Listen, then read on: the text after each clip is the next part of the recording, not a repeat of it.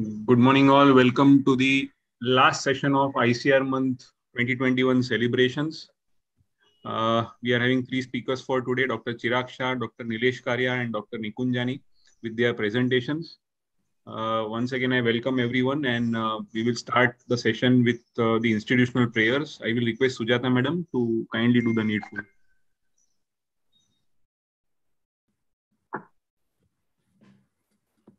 हमको मन की शक्ति देना, मन विजय करे। दूसरों के जैसे पहले खुद को जय करे। हमको मन की शक्ति देना। भेद भाव अपने दिल से साफ़ कर सके। दोस्तों से भूल हो तो माफ़ कर सके। झूठ से बचे रहे, सच का दम भरे। दूसरों पहले खुद को जय करे। हमको मन की शक्ति देना, मुश्किलें पड़े तो हम पे इतना कर्म कर साथ दे जो धर्म का चले तो धर्म पर। खुद पे हौसला बदी से ना डरे दूसरों की जैसे पहले खुद को जय करे। हमको मन की शक्ति देना मन विजय करे। दूसरों की जय से पहले खुद को जय करे। हमको मन की शक्ति देना। Thank you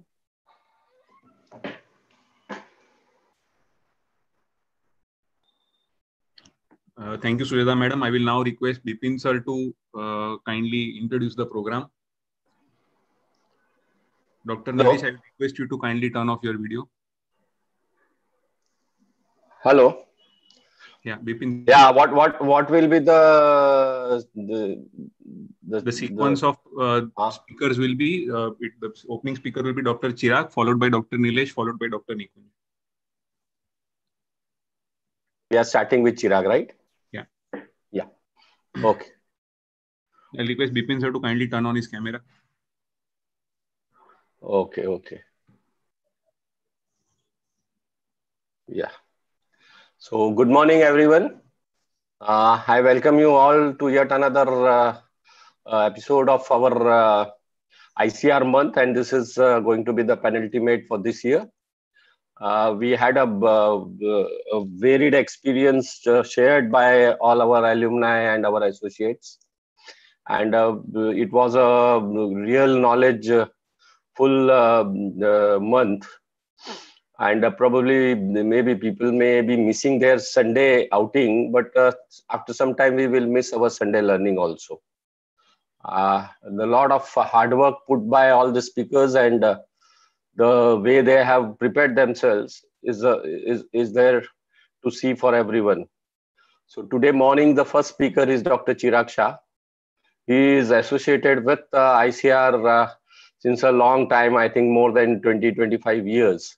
And he entered as a regular uh, training uh, student in Baroda. And then he come, came to Mumbai. He stayed at Palghar and developed his clinical skills as well as IPD skills. And then he is uh, the professor of physiology in our MKS uh, college at uh, Sumeru. And he is the pioneer who has built that department.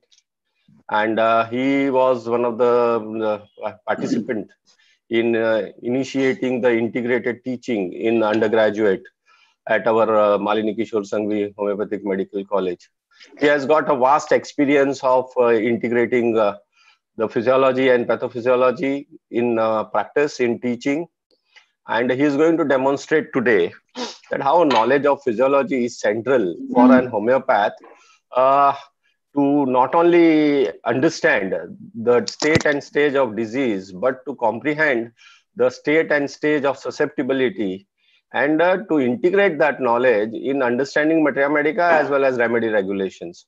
So, uh, in short, I mean, uh, without the knowledge of pathophysiology, I mean, we uh, it is it is very difficult to practice homeopathy. I mean, we can prescribe on symptoms and be happy, but that cannot be the ideal way of doing it because we are in a scientific world where the evidence-based uh, practice is what going to establish ourselves into the world of uh, science. So this is an attempt by him. He manages the pulmonary OPD there. So he will take us to the journey of how pathophysiology and primarily the knowledge of physiology, which is central to even comprehend organon, what uh, uh, Dr. Hahnemann has written two, uh, 200 years back. So I request Dr. Chirag to now take over and uh, take us a journey and give us an insight that how the pathophysiology knowledge helped him to comprehend all the serious uh, and difficult cases and how it has helped him to resolve all those cases with success. Uh, yeah, yes, Dr. Chirag, uh, please uh, turn on your video and uh, start the presentation. Welcome, Dr. Chirag.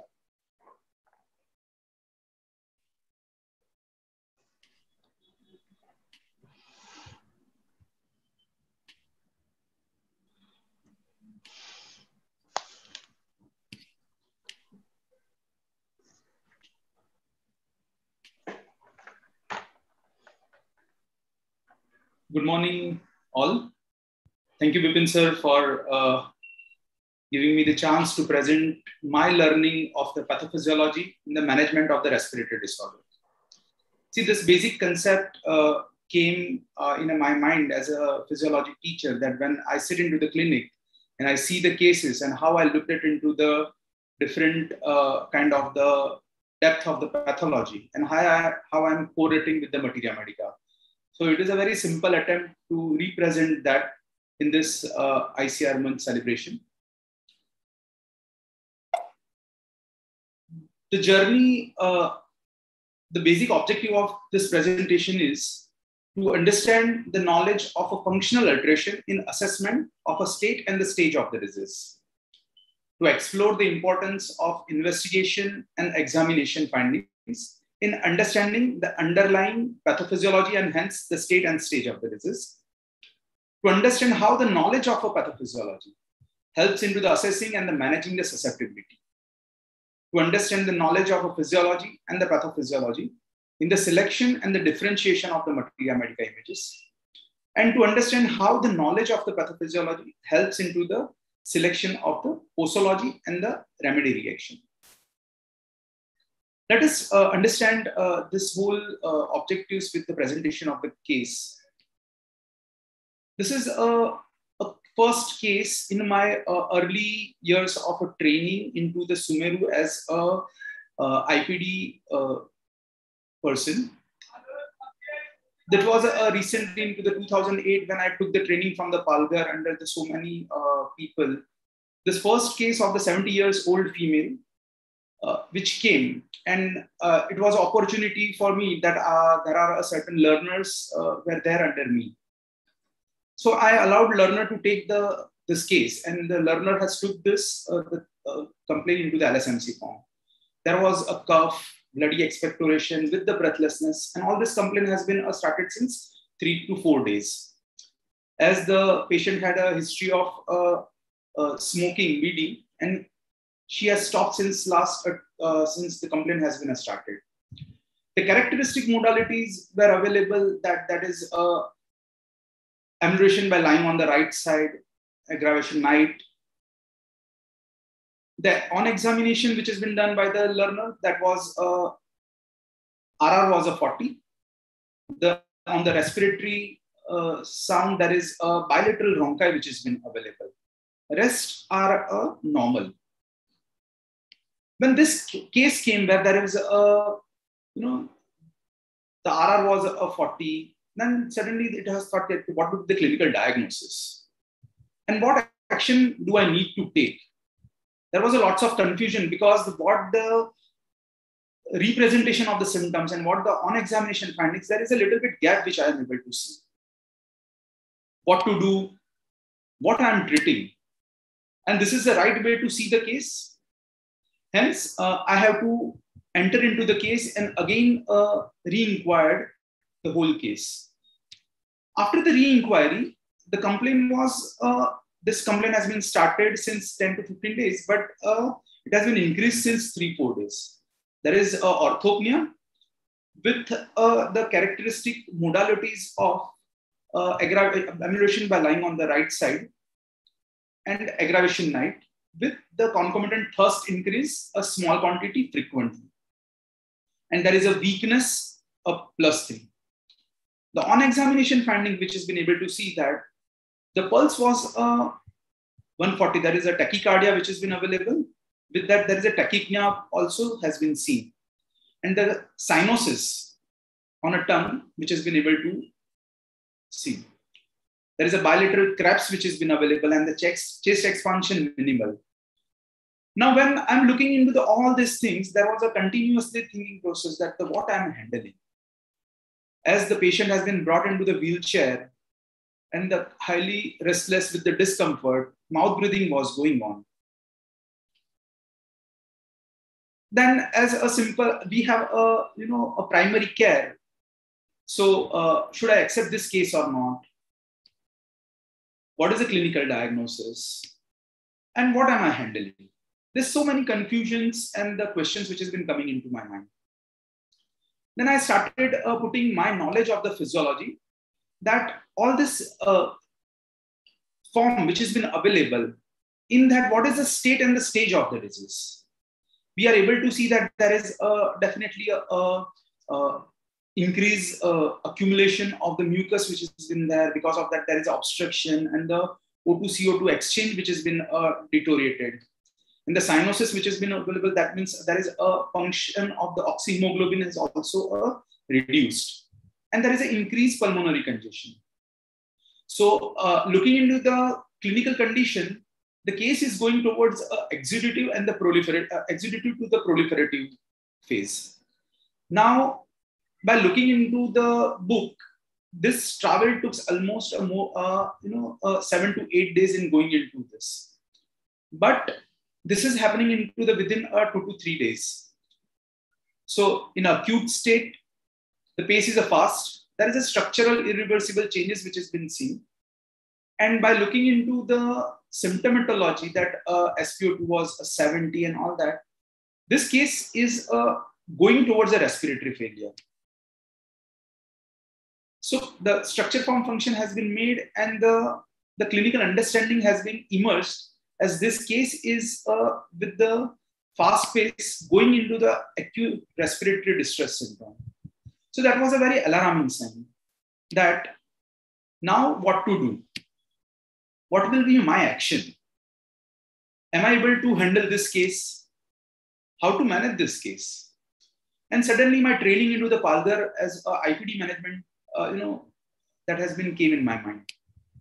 So we made the IPD admission and we thought that with the IPD admission and continuous monitoring, we will take, we will monitor the, this case. The totality has been made. The thirst increase for the small quantity with the frequent repetition, the weakness, the aggravation night, and the lying on the right side was a key of this case, as there is a two physical concomitant which has been available and the characteristic modalities which has been seen. We have start repertorization, and these are the certain medicine which has been coming up. That is the phosphorus, antimtart, pulsatilla, sulfur. But by looking into the pace of the disease, there is a two remedies which has been coming up into the mind. One is uh, antim-ars and the antim-tart. The antim-ars basically the whole picture of the antim-Ars has been a matching with the antim-Tart, but the characteristic uh, weakness with the thirst increase with the frequent uh, need, which has been differentiating from the antim-Tart, where the antim-Tart having excessive secretion, which has been uh, not able to uh, find into this patient. The action was antim-Ars 30, 4 hourly was started. On a 10-9, uh, we have started with the 3 liter of the oxygen and the 3 pills 4 hourly started. Within a 24 hours, the breathlessness was uh, better. The cough was uh, mildly better, but there is no hemoptysis. The most important striking feature was that the generals were improved, that the thirst as well as the weakness and the respiratory rate has been uh, limited uh, to 30. Simultaneously, the creps was there. The most characteristic uh, thing which has been uh, seen that the chest expansion which has been improved. That means the recoil capacity of the alveoli is also has been improved. And with the oxygen, the SpO2 has been maintained on 92 as the generals were improved, we have, uh, you know, again started, uh, continued with the same medicine that is uh, antim-Ars, 33 pills four hourly. After another 24 hours, the, the orthopnea, which has been uh, there, that was a completely better. The patient was a better, by, and the cough has been improved. The weakness has been improved a lot and we have made the oxygen from the 3 liter to the 1 liter. And with that, the SpO2 has been maintained a 97%. And the respiratory rate was, uh, which was earlier a 44, now has been reduced to the 28. But still looking into the complaint, what the patient has been cane, we have continued with the antim-Ars uh, 200 triples 4 hourly. After uh, another 24 hours, we have stopped the oxygen. The complaint was absolutely better. And with the no oxygen, the SpO2 has been maintained at 98. The respiratory rate has been come down to the nearly a normal, that is a 24. And uh, on the on examination, there is an occasional creps which has been seen, and the chest expansion has been also uh, improved we have did the we have given the antim-Ars 200 triples TDS, and uh, we have continued with the case definition. Later on, the patient has uh, remained with us for a long time, and there was no absolutely any single episode of this type later on.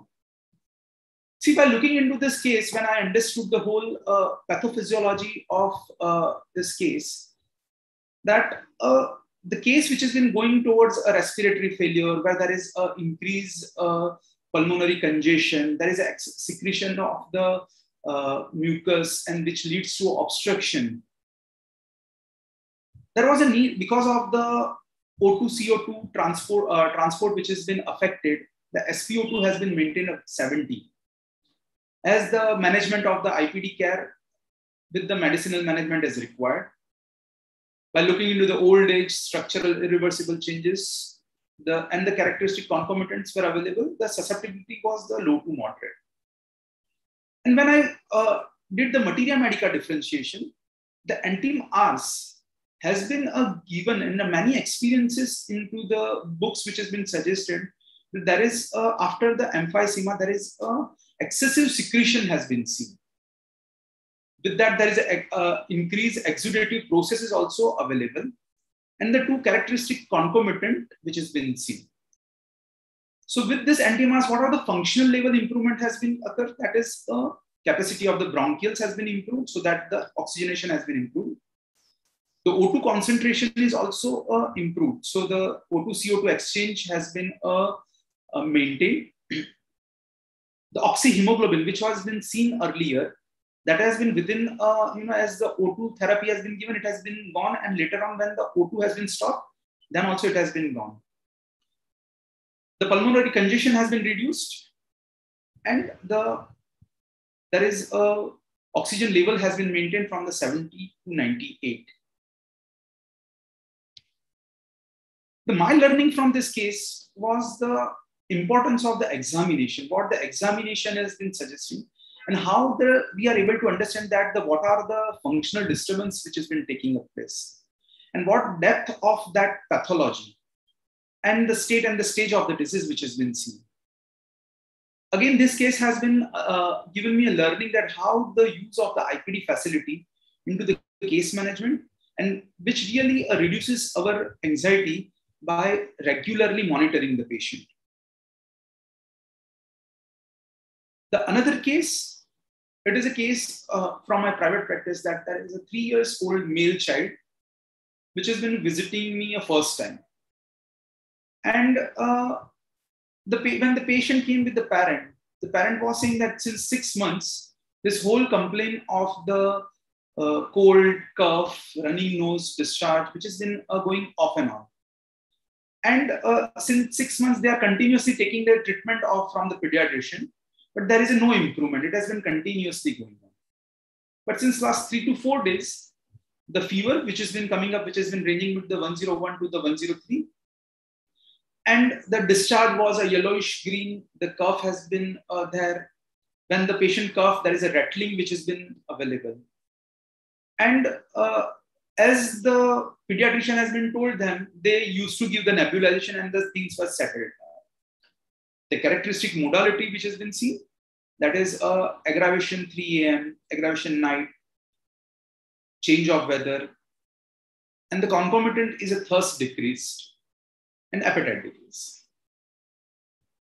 Now, as soon as uh, the on examination finding has been done, the temperature was uh, 101, the pulse was 120 and RRO was 28.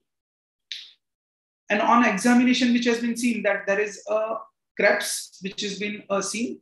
With that, there is a bronchial breathing has been uh, available.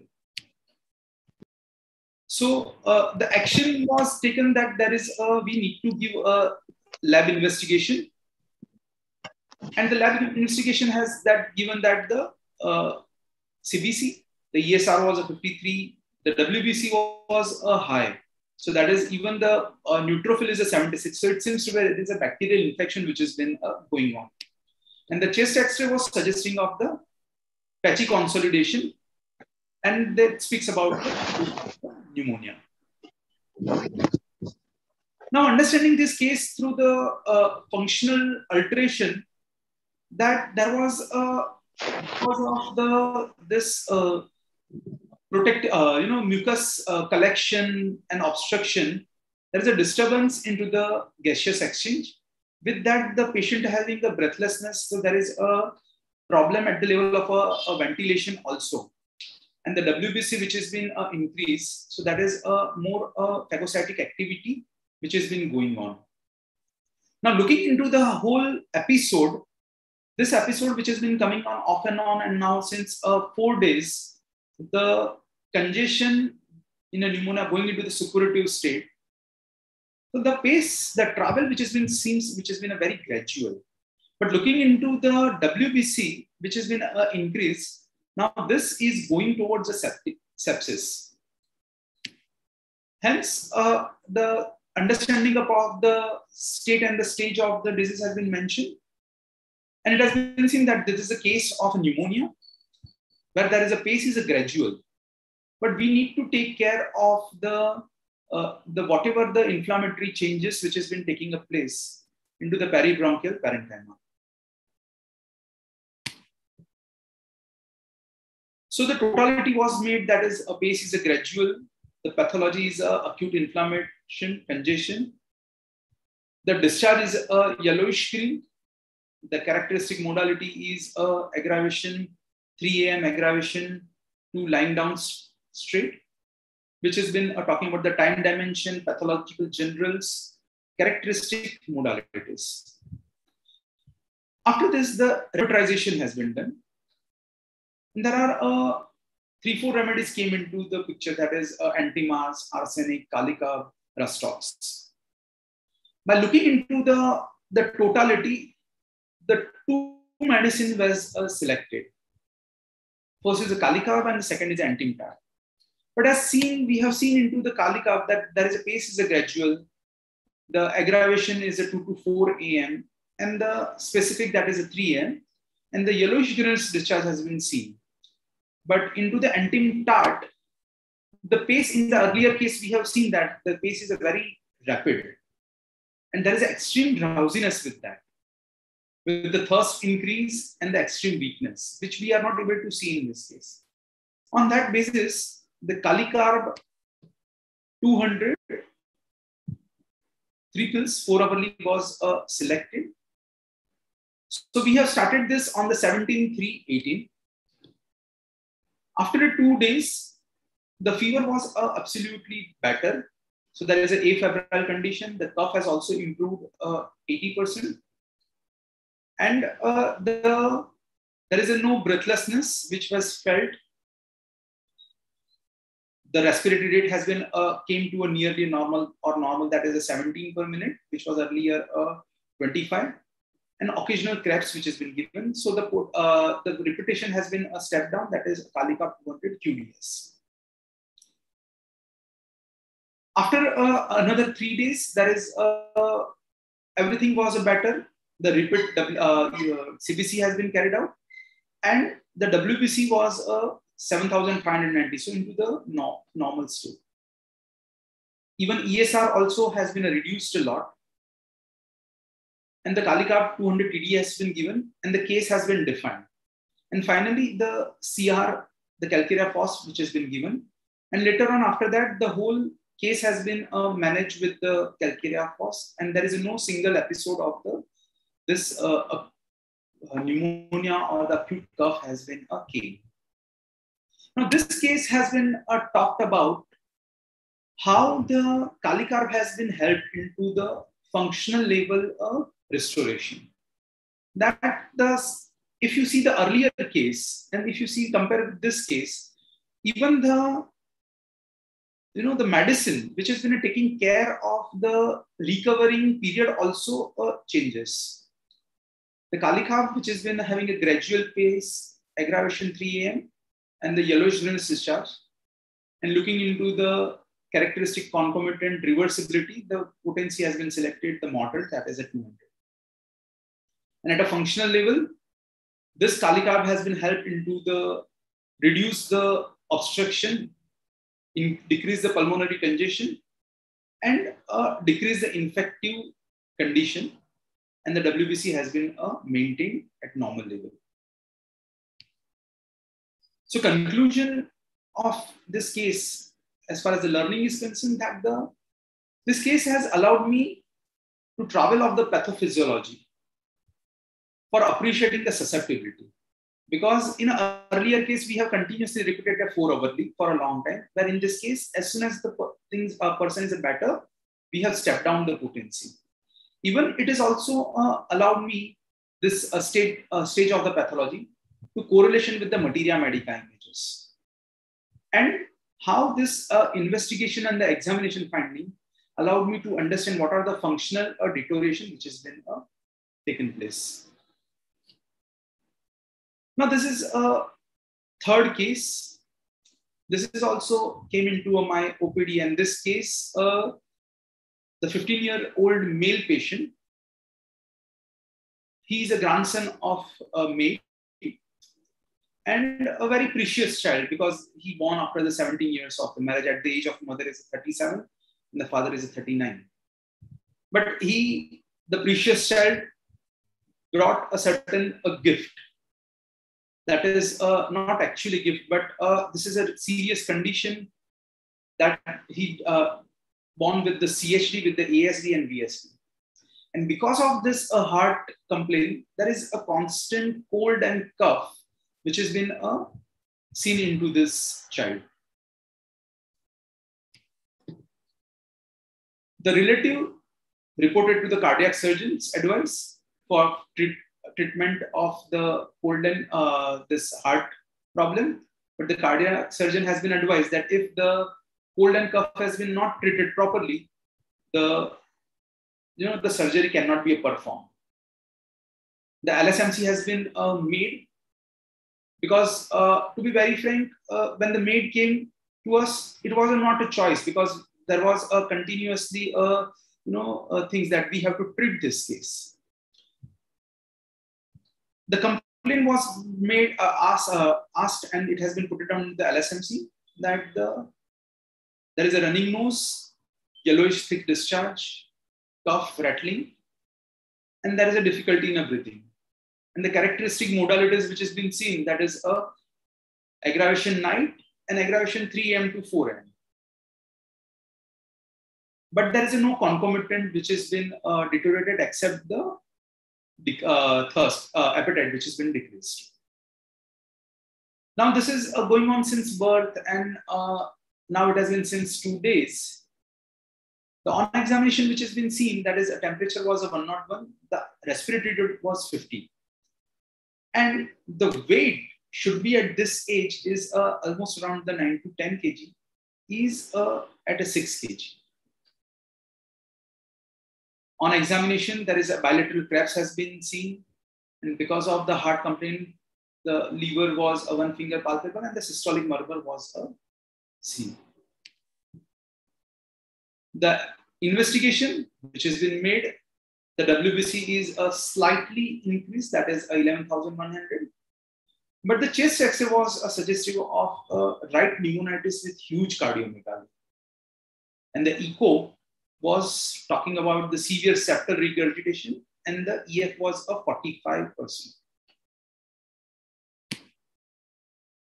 So the thing which has been came in mind, should I accept this case? What I need to do? The case which has been coming up from the maid, that they were very poor. So there is a, uh, they, you know, they were went to the certain uh, Ma card Yojana into a certain private clinic. But still this report has been came that the this, uh, if the cold and cough treatment has been not mentioned, the heart surgery will not be done, not will be done. By looking into the totality, the aggravation night, aggravation 3, 4 and the Kalicarb 34 hourly has been given.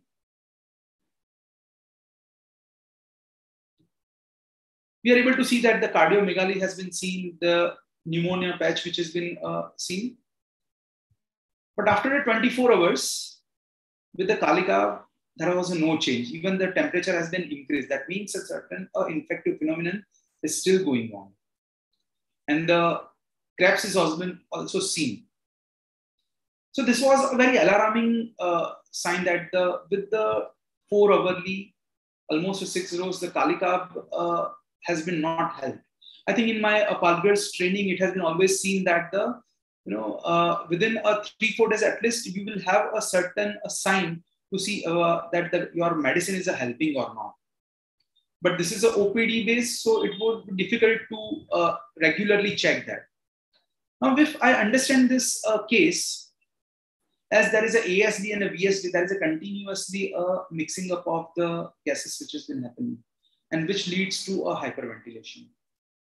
It also uh, decreases the pulmonary vascular resistance, which increases the hypoxia. And because of that, there is a breathlessness which has been uh, seen. Simultaneously, there is a pulmonary congestion as a functional level which has been seen. And then later on, there is a mucus uh, secretion and the, there is an increased respiratory rate has been seen. Now, again, in this case, understanding the acute state, it has been traveling from the congestion to the suppurative state within a 48 hours. So that is a pace is a fast. And uh, the there is a structural reversible changes has been seen. And as the WBC has start increasing, it going towards a sepsis. It has been made uh, the structure form function and understand that how this uh, ASD, VSD, the cardiomegaly, which has been a continuously decreasing the pulmonary vasculature and how it has been uh, created the back pressure and the hypoxia, which has been increased. It is also talks about the pulmonary pressure, which has been increased and that leads to the pulmonary congestion. Again, the diagnosis which has been made and it has been came with the acyanotic heart disease with the cardiomegaly with the right pericardial pneumonitis in the CCF. Now, the main part is the management. It was very clear that uh, we have to intervene for the respiratory complaint only. But the CVS and RS is associated with each other in this case. Hence, it is more important to see that how the compensatory mechanism is playing a role and how the susceptibility is throwing the forms. So we need to understand that the, how the CVS is continuously affecting on the RS. You cannot uh, segregate this phenomenon, which has uh, which I have missed into the earlier prescription, you know, when the Kalicarb has been given. So that was a more focus on how the fast the patient has recovered for his complaint of the RS. And hence the totality has been made that there is a pace is a fast, the affection of a heart with the lungs, the congestive uh, pathology, the discharge is a yellow, and the cough is a aggravation 3 to 4 a.m. While putting these things, there is a two drugs which has been coming into the mind. One is ammonium carb and the kali carb. If you check the ammonium carb, the ammonium carb is not very well represented into the you know the repertory as far as all this thing is concerned. But if you go back to the Boger, Boger has been clear cut uh, given the picture of the ammonium carb as far as the heart and the lungs correlation. So onset was the rapid. There is a respiratory pathology because of the heart. Aggravation 3M. And the Kalika, that onset is a gradual aggravation 3M and the greenish discharge which has been seen. The ammonium carb, looking into the case, 33 4 hourly was selected and started. It has started on the next uh, same day.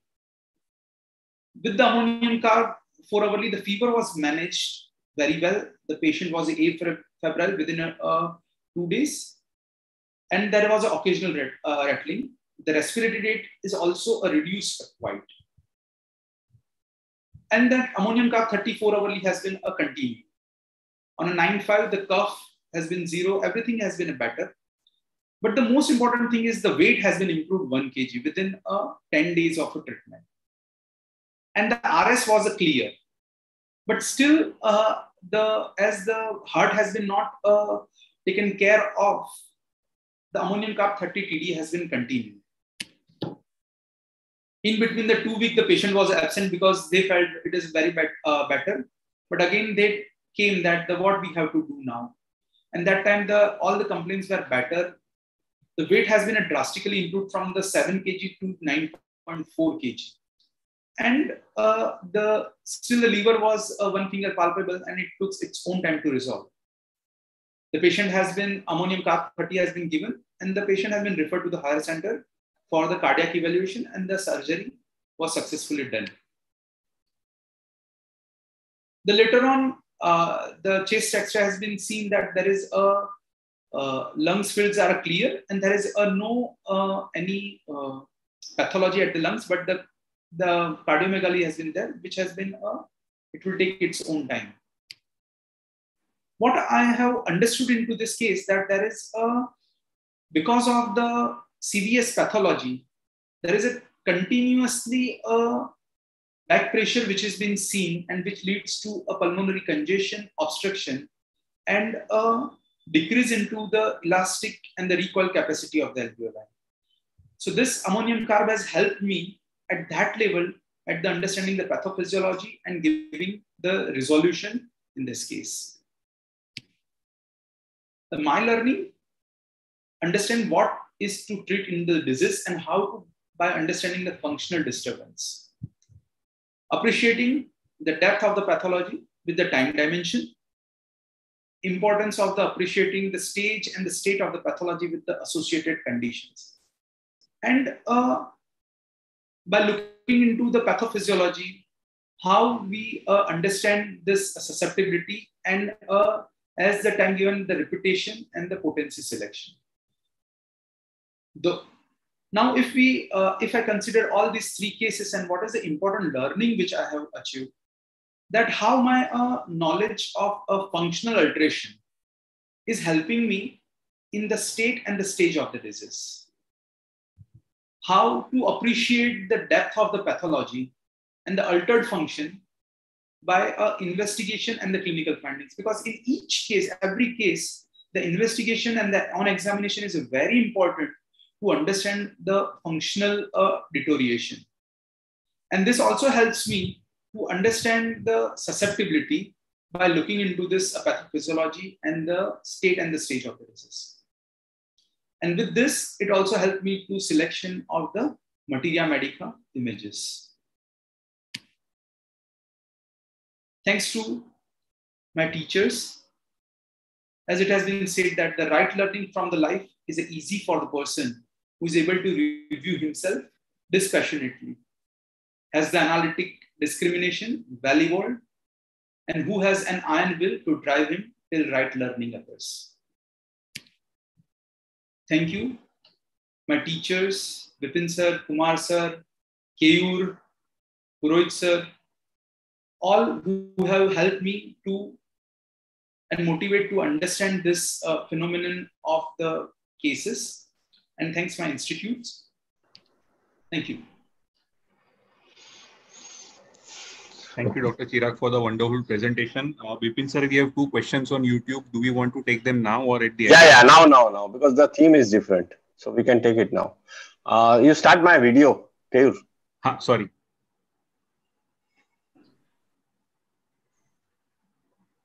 I will uh, request Chirag sir to kindly stop sharing his presentation. Yeah. So, uh, Chirag sir has uh, ably demonstrated that how physiology is a central to understand all the facets of homeopathic practice, starting from case definition to final resolution and ancillary treatment. And uh, it is a backbone for an homeopath to understand a lot of uh, different uh, uh, diseases and their management based on evidence and scientific approach. So thank you, Dr. Chirag, for all the efforts which you have put in. And all the three cases were uh, different and they demonstrated uh, uh, the utility of uh, physiology as well as the knowledge of uh, homeopathy, how they have been integrated to manage these cases. Uh, what are the okay, questions, so Keyur? First question is from Dr. Jagruti. Uh, any blood parameters to assess any concomitant comorbidity, X-ray test to know why respiratory failure in case one? Yeah, Dr. Chirag, any comorbidity in the first case? Why uh, the person? Basically, uh, that case was uh, coming where uh, it was a came and we were into the management of the this uh, acute respiratory failure. But definitely, uh, the looking into the picture, if the the history of the smoking and all that things, and by if I look into the changes which has been made and understanding the emphysema and the lung pathology uh, should be uh, uh, not missed and because of the hemoptysis was also a scene. Uh, but definitely that time it was not uh, thought of to go for the this uh, X-ray and blood investigation. Okay. The second question is from Dr. Nirav. Why in second case Psorinum was not taken even for differentiation, although it has come first in repertorization and covering all rubrics with four marks? I think uh, in the second case, uh, when the totality has made, definitely the repertorization has been done. But looking into the uh, the pace of the this uh, you know uh, pathology, there was a gradual pace, and uh, that there are differentiation with the other drugs which has been seen, and there is a characteristic time modality which has been seen. That is aggravation three, and though it has it has been a in a repertory, it has been well represented, the Psorinum. But as far as the lung affection is there, the Kalika with the greenish discharge, it has been a thought of, the gradual. We have a couple of questions on uh, Zoom chat. Uh, Dr. Kanayalal, why you have not defined the case and started CR along with cardiologist opinion? In the last case? Okay, so basically, uh, the uh, you know the patient has been uh, came for the treatment of the RS complaint. Definitely, we have later on defined the case, but the primary focus is to go for the cardiac surgery, and that's why the uh, the primary focus was to reduce this uh, respiratory complaint and to send the patient for the this uh, heart surgery, and that uh, focused uh, uh, objective was there and later on we have defined the case And uh, at present, the patient is under the treatment of the physician and he is doing well. Okay. A question from Kumar. What must be done to incorporate these pathophysiological insights in the teaching of materia medica at UG and PG level? Any rewriting of textbooks needed? Chirag sir. uh, definitely. Uh, see, when if we, uh, to be very frank, uh, when I look into all this case and I refer the Boger and the William Burt and uh, uh, they will definitely tell us by looking in, you know, as a physiology teacher, they were already there, but it has been a very, we have not able to interpret it properly. And now when I look back into the all this, even the Clarke, they have very well demonstrated this uh, pathophysiology and the functioning changes into the each and every materia medica. Uh, Bipin sir, you can uh, more tell because uh, you are the materia medica teacher. No, no, no. I, I, I, I am not materia medica teacher alone. There are so many materia medica teachers, so that's not an issue. Issue is uh, what sir is saying is that the insight what we are getting through our current knowledge of pathophysiology uh, are we able to uh, comprehend it and demonstrate uh, through the writing of materia medica, organon, or repertory, so that you know we are scientifically and more evidence-based uh, things are there in our textbooks. So we need to rewrite. See, all the physiology textbooks are written from a concept of what normal functions are, but how do they get integrated into homeopathic practice? uh, none of the books available from a homeopathic perspective. So all our books, including anatomy, physiology, pathology, has to be written from a Hahnemannian concept of man and a travel from health to disease. So we need, all need to rewrite all those textbooks so that uh, the student is able to comprehend and see it as an integrations, as an individualizations, and as generalizations. All the concepts are being ingrained. So he wants you to start writing the physiology from that perspective and write a new book where at the physiology level you are able to demonstrate certain mathematical insights. Thank you. We will, I will try. Ah. Okay, so that uh, uh, ends the first presentation. And uh, from physiology, now we need to travel to the surgery. And uh, I mean, this was uh, a very, very interesting uh, sharing by Dr. Nilesh about uh, congenital hernia in a children. Uh, I was going through the literature as well as I, uh, I was reading that uh, what is the scope. And then when I had seen uh, these cases, we realize that there are certain processes which are incomplete or which are halted or which are obstructed.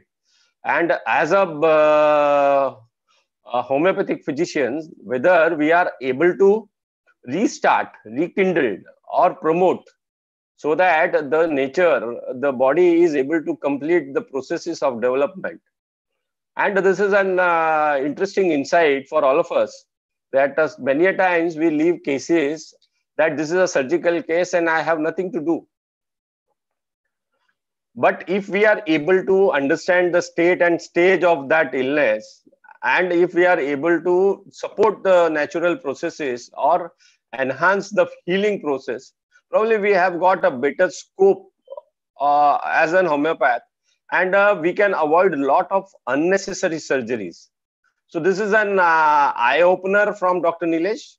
And uh, we are happy uh, to you know present him in this icr month. Uh, he resisted initially with a lot of work and all that. But uh, I wanted that he should share this knowledge because delaying sharing this knowledge may put other people to push other uh, congenital hernia for surgery. So I, I thought that uh, why leave him? So under all stressful situations, he, uh, you know, uh, accepted my request and uh, my order in that sense and then he he, he had I left him with no choice. so uh, I, I will request Dr. Nilesh to share his experience. Not one or two cases. There are five cases of congenital hernia which were treated, and many more to come. And we all can contribute and demonstrate. uh, the scope of homeopathy in so-called surgical disorders. So, Dr. Nilesh, it's all yours. Hydrocele, na? Ah, sorry, hydrocele. I'm sorry. Ah, yeah. I'm sorry. I'm sorry. Sometimes uh, when Nilesh is there in front, no, you'll forget something. So is the green visible? Yes, yes. Go ahead. Okay. Sure. So thank you, Vipin sir. And uh, thank for introduction. And uh, I welcome you all for this uh, journey of learning.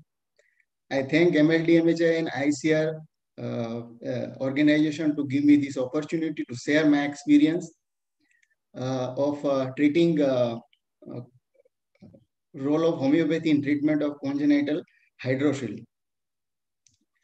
Today, the objective of my presentation is demonstrating the scope of homeopathy in treating the congenital hydrocele, appreciating the role of homeopathic medicine in rekindling the natural process to resolve the congen uh, congenital hydrocele, demonstrating importance of updating the knowledge to understand natural development and resolution of reversible congenital condition, using differently indicated force for treatment of the same condition, demonstrating the source book data of masters being proved by our clinical experiences, and vital importance is keeping the documentation for the scientific evidence for learning and sharing. So we'll proceed with directly case. This is a case of a two years old male child. One fine evening, my family physician friend has called me up that, uh, doctor, we have one case. Recently, there is some uh, changes has occurred in the scrotum and mother has uh, seen some swelling in that and surgeon has diagnosed as hydrocele and he has advised for surgery. That was in uh, 22 9 for 2014. Can we have any solution for that? Because he is having already one uh, grave disease in him. So can we uh, help him through homeopathy? Okay, I said that you send the case, we'll see that. And he came down with uh, this USG and this is the photograph in front of you. It says that there is a left-sided hydrocele uh, encysted cord hydrocele with the measurement is there. The picture is taken on 24 9 14. As a clinician, some question has arisen in my mind. This is the case of congenital hydrocele. It's a surgical condition. What is it? How does it develop? What are the types? How does this differ from the adult variety? What is the what if not treated? Any complication is there? And what is the role of homeopathy in this uh, disorder? Because this is what we see is as a uh, surgical condition. Now let us see what are these clinical condition. Hydrocele is a fluid built up in the thin pouch that hold the testes in the scrotum. The incidence of congenital hydrosis is 1 out of 10 baby born with hydrocele at the birth how does this develop? What is the pathophysiology? A hydrocele can start before even the baby born because testes grow inside the belly and then they move down through, into the scrotum through a short tunnel. It's called as tunica vaginalis. A sac is filled with the fluid. After the birth, within one year, the tunnel is closed and the sac is sealed off before birth and the baby's uh, body absorbs the fluid inside. If there is a failure in closure to that tunnel, and if the reabsorption of fluid is not there, that result into the congenital hydrocele. There are types of congenital hydrocele, uh, congenital type and acquired type. There is communicating and non-communicating. We are not going to detail about that, but our case is encysted cord hydrocele that comes under non-communicating hydrocele and what its implication. Usually, it's a benign condition that doesn't require surgery. It resolves on its own. A non-communicating hydrocele often resolved by one year of age. But when to intervene? How, when to treat a hydrocele in child? Intervention has certain indication where it is not disappear by one year of age. If it gets bigger, that is communicating type. if it turns large or tense. And regarding our case, encysted hydrocele of cord, it leads to ballooning and wide or wideness, so the separation of wall of processes, and that doesn't allow the wall to be adhered and the process to be complicated, and hence is likely to go into complication. Then what are the complications if remain untreated? The complication will be infection, twisting of testes, that is torsion, tumor, hematocele, hernia. And these are the complications. Then is the surgery the only option that remain with us? Let us have answer with this uh, uh question, uh, this case we are progressing into. The case one, are you getting? I am there now.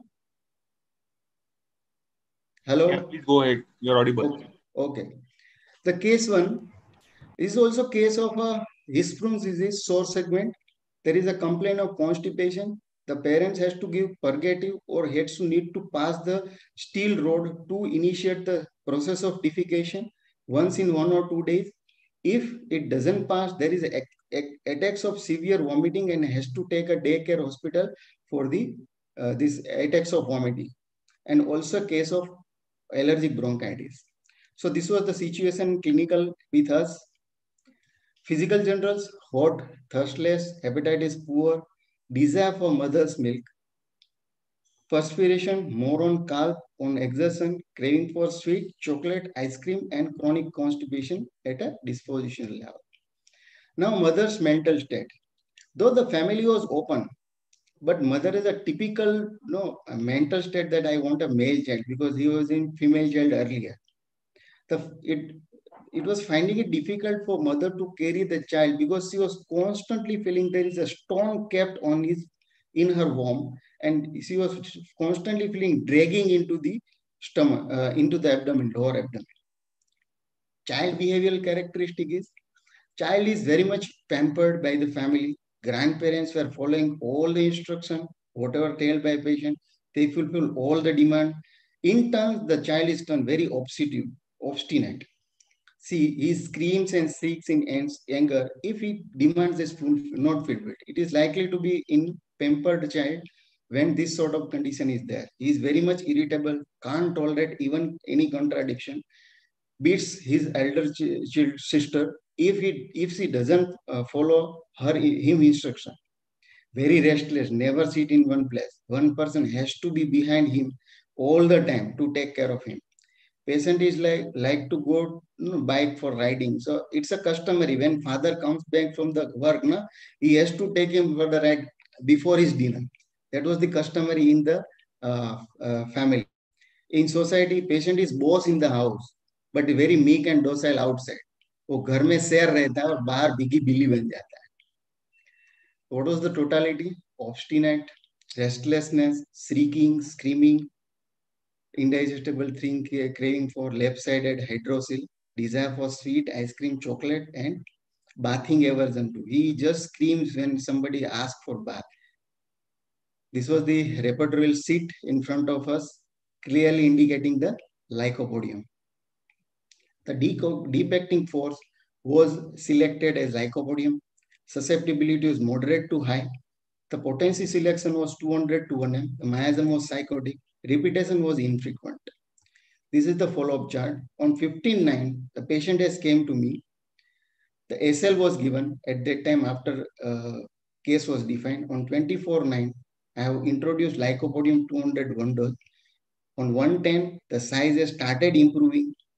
Also, there was a no respiratory uh, involvement in that on 810, subsequent, substantially, the size of the cyst was very less, 30%. Respiration was clear, clear, and his state of constipation also started improving. No pur purgative is needed, and uh, he was he used to pass two to three times tools in a day at a time. Lycopodium 200 was repeated on 1510. The size was almost 90% better. His weight was also improved, and Lycopodium 200 again given so this was the condition on 1510. The 15.9 to 1510, it is just one month's time, total four weeks duration, three doses of lycopodium was used, and you can have a comparative picture of 15.9 and 1510. This is a improvement that we have got. Then what our homeopathic medicine has done, that question has arrived. It has rekindled the arrested process of development. The closing of tunica vaginalis, the reabsorption of fluid, and the resolution occurred at a rapid pace. This is what I have learned from this. Then the second series of questions has arrived in the mind is the data written in our source book regarding the treatment of hydrocele in children. What's its implication?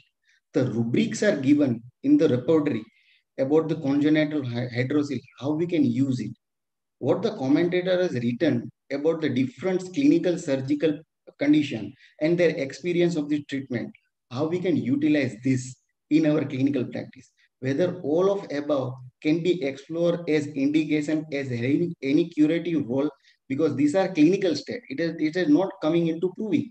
Then let us have answer through this second question, second case. Master N is a four-year-old child. He came to me in 2009. He's my brother's son. The mother has called me up that there is some changes uh, uh, I am seeing in the size of the scrotum. It is gradually increasing over a period of time, that is last one month. So I have asked in the evening that you come, let us see. USG was advised. It was right-sided spermatic cord hydrocele. Surgeon's opinion is taken, advice for surgery. Now, this was the case history available to us. Associated complaint is gas, constipation, obstetric distress. Mother has lost one, uh, one child IUFD prior to this. Uh, physical generals are hot, thirstless, a thirst for little quantity, perspiration profuse on scalp, hangnail because he is having habit of biting the nail, craving for sweet, banana, fried, curd, stool constipation. Now child's behavior characteristic. Family background, both parents are physically disabled. They have lost their first child, so they are very much anxious and protective for the child. Naturally, child become obstinate, very pampered, can't tolerate any contraindication. Patient wants all what he wants. If not given, he strikes his head, roll over on floor, beats the mother, throws the thing, screams in anger. But all things are in house only. Outside, again, piggy billy, nice and obedient in the society. But he's very restless, can't sit in one place. But another one peculiar characteristic what mother has said, is a question bank. He always goes on firing question one after another. What is this? Ye kaisa hota hai? Ye kya hota hai? That was a, know, he's like that. He's very inquisitive. What is the totality being erected from that is obstinate child, anger, contradiction, striking in children, shrieking, screaming, shouting in children, inquisitive, craving sweet, uh, chronic constipation, thirst for small and frequent, and hot patient. This is the repertorial sheet available, lycopodium, calcarea, sulfur, belladonna, tuberculinum, all are indicated remedy. Again, depicting force was selected as lycopodium. Susceptibility is high, sensitivity is high, potency selection was 200 to 1M. Repetition, infrequent. Now, on 1149, I have started, USG was done, confirmed the diagnosis, and I have started with lycopodium 200 one dose. The size has started improving from very first week. There was constipation also improved. There was no other complaint and hydrocele size was improved. By 2515, the size was almost normal. The patient has went to maternal place. It was a vacation period. So they have went there. His constipation is improved. There is no other uh, complaint and lycopodium 201 packet was weekly due, continued during that time. Later on, there is no recurrence and the swelling in scrotum, uh, scrotum has never come. So the learning from the case is the data recorded in source book is the experience of the master and it is clinically proved when we use in our practice, we got that result. Lycopodium in hydrocele in children, many Materia Medica has written. Many therapeutic books has mentioned about the hydrocele and its management. Many remedies are mentioned under one condition. So this references gives indication and how curative role, and there have curative role as well. Now, The repertorial coverage. Now, these two cases is being managed with lycopodium. There are many medicines are report, uh, uh, no, recorded under the rubric hydrocele. Now, if we go for the uh, complete repertory, male genitalia, hydrocele, congenital hydrocele, there are Abrotanum, bryonia, Graphites, Pulsatilla, Rhododendron. Then I have combined all major repertories and I have got these four mark remedies like Graphites, Pulsatilla, Rhododendron, silicea, Sulfur, all remedies are there as you see in your screen. Total 100 remedies are mentioned in complete repertory under rubric hydrocele. Complete, complete repertory in BPR has mentioned about lycopodium in hydrocele. Now only lycopodium can be can be used. What are the other indications? That the answer in the third uh, uh, case. This was the third case. This is case I was managing earlier even. This is a short history of this patient. In year 2008, he was under my uh, treatment. His master aim four years, his close relatives staying in same premises in my house only, uh, downstairs. Is a case of ADHD with LRTI. His CR was calcarea iode. I used to give him 200 to 1M was raised potency. Intercurrently tuberculinum was given at that time.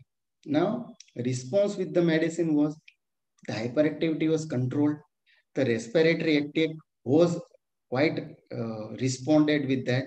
And mother's remark was that whenever you get that, give that UDI at the time, no packet at the time, his uh, hyperactivity definitely improved with that. So there was no doubts about the whatever the forces were acting at that time. On 181208, that is 2008, the Petha's mother has just given me a notice that, that there is some change in the size of scrotum left side. And since last one week, I'm observing the size is gradually increasing. Today is more most uh, increased size. So I have asked them to come to clinic. It was left-sided scrotal swelling, cuff reflex was positive, and translucent test was positive. I have advised for surgery that has came out with left-sided hydrocele. Surgeon's opinions has taken uh, and uh, he has written in bold letter that surgery is the only option for this. Okay, I have asked them that we will start with homeopathic treatment at that time. Analysis of the case is the left-sided hydrocele is there. Patient is already on selected remedy, deep acting remedy, and the medicine is acting on the cat the disposition is showing certain new complaint, new form. Is other any specific medicine indicated in there? In repertory, left-sided hydrocele, in Boger repertory, rhododendron and silicea is written. And in Phatak and Kent repertory, rhododendron and digital is written. Now, this is the Materia Medica coverage. In different, different Materia Medica, these are, this is written by Margaret Tyler in in one uh, one remembering curing of a small boy of hydrocele with rhododendron it has a great reputation for hydrocele especially in children even from the birth. And dr john tassie it's a case of hydrocele in five years standing from birth has uh, cured with rhododendron. He has used the uh, water potency uh, one in three part and he has mentioned this. So it was enough for selecting the rhododendron as an indicated medicine. I have uh, selected on 12, 18, 12, 08, rhododendron 30, one packet weekly was selected. I, the, the patient was staying just downstairs. It was very easy for me for the frequent follow, follow of that. From I used to take him almost one or two, once in uh, one or two days. The child was improving from the day when I introduced rhododendron from uh, February, uh, December, sorry, it is January 2009. I have forgotten that. January 2009, February, and in March, the size is gradually improving. I have consistently continue with rhododendron 30 one packet weekly because the system is gradually showing the improvement over a period of time. So rhododendron has uh, uh, taken care of this uh, surgical condition. In March, I have stopped and put in into uh, regular deep acting constitutional medicine later on. Few more experience to look at a glance in pictures. This was the case I have taken on 3117. This was a case of Master D. It was case 4. You can see the left-sided total swelling. And on 31-7, uh, 31 317 this was case taken and on 27 6 uh, the case is improved nicely. Because of shortage of time we are not going into detail but the data i am giving into analysis table about what medicines are being used and how frequent it is being used. So within i think three weeks three months that is 12 weeks the case is been resolved. This is the case number four. You can see the difference in the size and uh, uh, more of more often this case was of a uh, brother who is servicing in civil hospital. So he is cross checking our result with frequently consulting pedi- surgeon over there that whether the size is improving. He has taken two three times sonography also there in uh, uh, the civil hospital. So it was confirmed that our medicine is acting. That was a, a good part uh, to get the result confirmed this was the case five. This was Master Manan. Uh, the case has been uh, uh, seen in on 14 11 2018 master manan you can see the sonography which shows that is a, a loculated hydrocele tunica vaginalis and the size is also mentioned and the sonography and the uh, picture of this uh, disease uh, condition is also there in our screen then on 5-7 actually what, what was there? The case is improved in March only. That is from, I think, uh, uh, November uh, till March. The mother is servicing in Bhavnagar. So he, she went there for the exam purpose. And the cases came to us back into uh, July because of this, uh, there, there was work in the school, they went there. So they came to Junagadh uh, the sonography was asked to do that you do the sonography the sonography is came normal on 5-7 the picture is taken on 5-7 there is absolutely normal. So all five cases has improved. Uh, you can have a glance of the two comparative picture one is taken on 14-11 and another is sorry the date is a little bit difficult. Okay. So what is the analysis of all the five cases is the associated complaint in all five cases is one is having Hirschsprung disease, another one is ADHD, the master AM was. All are having recurrent respiratory tract uh, infection was there. Associated complaint constipation was present in all the cases. Miasmatic understanding was sycotic, considering the pathophysiology as I mentioned earlier. Fundamental state was different in all the cases and I maintained sycosyphilitic in case one, sycotubercular syphilitic in case two, in case three, and uh, case four, that is uh, and sycotuberculosyphilitic. All susceptibility except in Hirschsprung's disease, moderate to high, otherwise all are high. The medicinal force which were used was lycopodium, lycopodium, calcarea iode, in fourth case, that was the case of the brother who was servicing in uh, civil hospital, tuberculinum was given. And in last case, lycopodium was given, that the mother was servicing in Bhavnagar. In phase remedy, rhododendron was used in calcarea iode case, that is case 3, that is my relative's case. In both the cases, we have started with rhododendron, but it was not indicated and it was discontinued within two to three weeks since the response was not available. And then it was put back to constitutional medicine. And within short time we got the result. So response is achieved with the constitutional medicine in four case except the case of uh, that ADHD case where rhododendron has helped. Time of duration five to eight weeks earlier then when we have introduced empirically that non-indicated remedy rhododendron, the time of the treatment has stretched little bit, 12 to 10 weeks.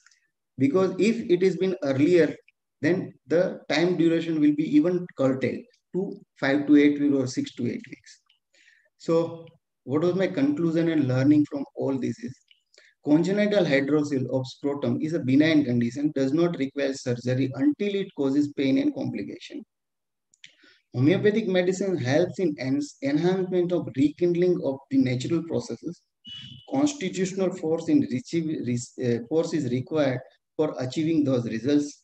Phase remedy also give results if indicated and registered. Documentation is most important aspect of the case for sharing and learning. I have not uh, that uh, uh, photographs of the case two and three. So scientifically, scientificity is proved through evidence only. And that is what I have learned from this.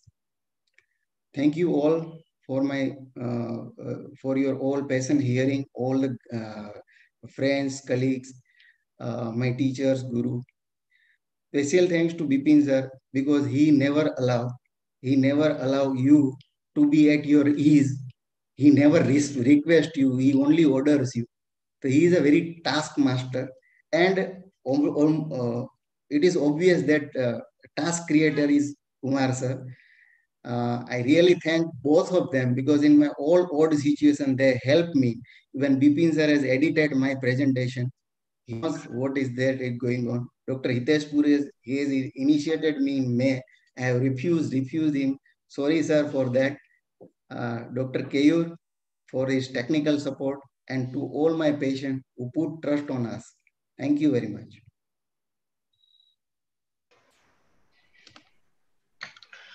Thank you, Dr. Nilesh. And uh, it was really uh, very heartening to see, you know, the documented uh, evidence of so-called uh, uh, surgical disorder in which sharing his screen. Hello. I will request Dr. Nilesh to kindly stop sharing his screen, and I will request one, Bipin one, one minute. One. Video. Yeah. Okay. Sorry. Yeah, yeah, no issue.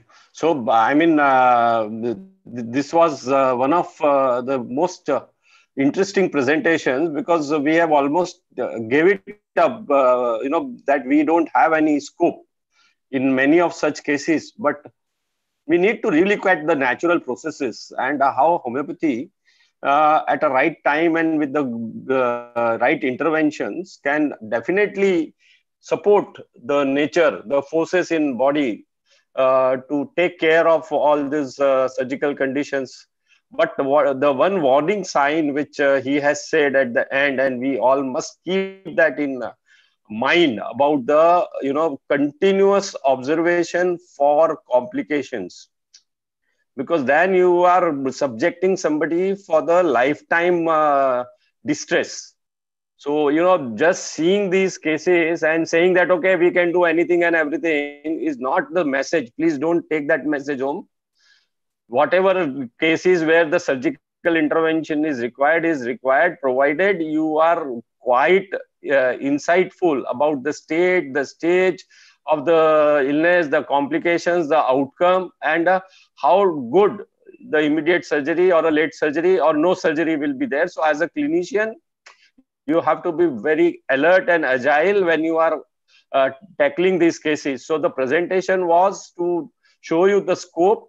This was also show you that there is a uh, limitation sometime and you have to be very alert and not subject your patient to unnecessary distress and complications. But definitely you can make a huge difference in a lot of these cases uh, in, a, uh, in a time to come. So it was wonderful uh, to hear you, Nilesh. I mean, uh, without this, I mean, uh, so many people would have uh, thought that, uh, okay, these conditions have to be directly referred to the surgeon.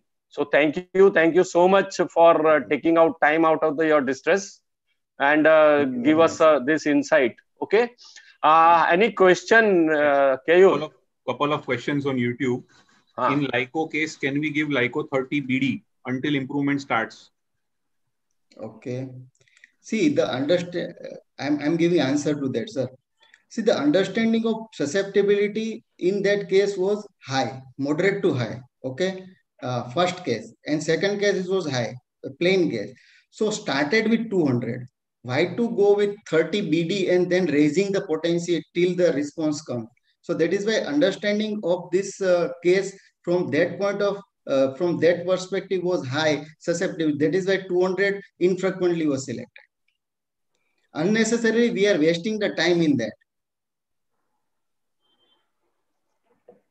Another question. Another question is: uh, why do such type of presentations called congenital even though it was appeared few age after birth? See, the process has started since the birth. In presentation, I think it is there before the baby born. This thing is there because this is the process of descending the stati from abdomen to scrotum and the tunica vaginalis is pattern and that is why it is called as congenital. The appearance of disease may be later on. The process is there, but the appearance can be noticed can be later on. That is why this, this disease are case called as congenital. Okay. One more question. I don't know. I mean, it's not relevant though, but still, can we cure inguinal hernia, hiatus hernia like congenital hydrocele?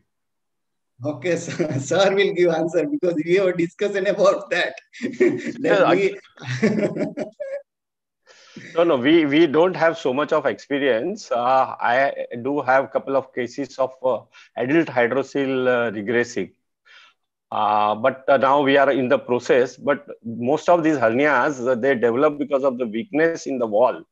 And sometimes it is beyond, you know, repair. So you just, you know, it, it's better to give a support with surgery or repair it and then give constitutional so that it do not recur. That is a better way but if it is an initial and the weakness is not there, I mean, it's worth trying constitutional uh, or indicated medicine to treat such cases. So thank you, Nilesh, uh, for uh, this wonderful uh, morning uh, treat. Uh, interestingly, the, I was just reading one of the input on our chat box by Kapsesar that, dear Nilesh, please publish article in JISH supported by investigation role of homeopathy in apparently surgical disorders can be established with such studies. Thank you, sir. I will I will do that. And, and the, yeah, yeah, yeah, Nilesh. Yeah, yeah, and and that is the subject of our next presentation. that means again Kapsesar is fixing me up. yeah, yeah, yeah. So uh, it's it's a it's a uh, it's a subject of our. So Nilesh, you can now uh, stop your video. We can go to the next presentation. And uh, the request by Kapsesar is well taken because uh, that is, uh, you know, it reaches to the many people some uh, with this uh, publications. And when people read it, you know, it, it not only gives them the directions, it gives them the insight. It talks about the scope and limitation of homeopathy and how does this publications and reading uh, these journals or these uh, articles you know enhance our uh, clinical practice. It enhance our insight into the different facets of homeopathic practice. How does it uh, get us a confidence? And how do we understand uh, and review this? For our uh, you know development not of as a homeopath but as an homeopathic practitioner teacher and educationist so, uh, I mean, uh, the importance of writing, publishing, reading, applying in a clinical practice, going back, republishing, rewriting, recommunicating with the writer, and evolving a science based on a scientific uh, and evidence-based uh, science so that we gradually move to the first choice of the treatment and for that, we need to publish, publish, publish, read, read, read, uh, get into the feedback mechanisms so that uh, all of us uh, grow and help science to grow. So uh, Dr. Nikunj uh, Jani, our uh, leader in Department of Repertory and our editor of our JISH, he has a lot of these experiences of uh, being you know uh, used from whatever uh, extensive reading he does of, of lot of these journals not from the time when he has started publishing jish but from the uh, beginning.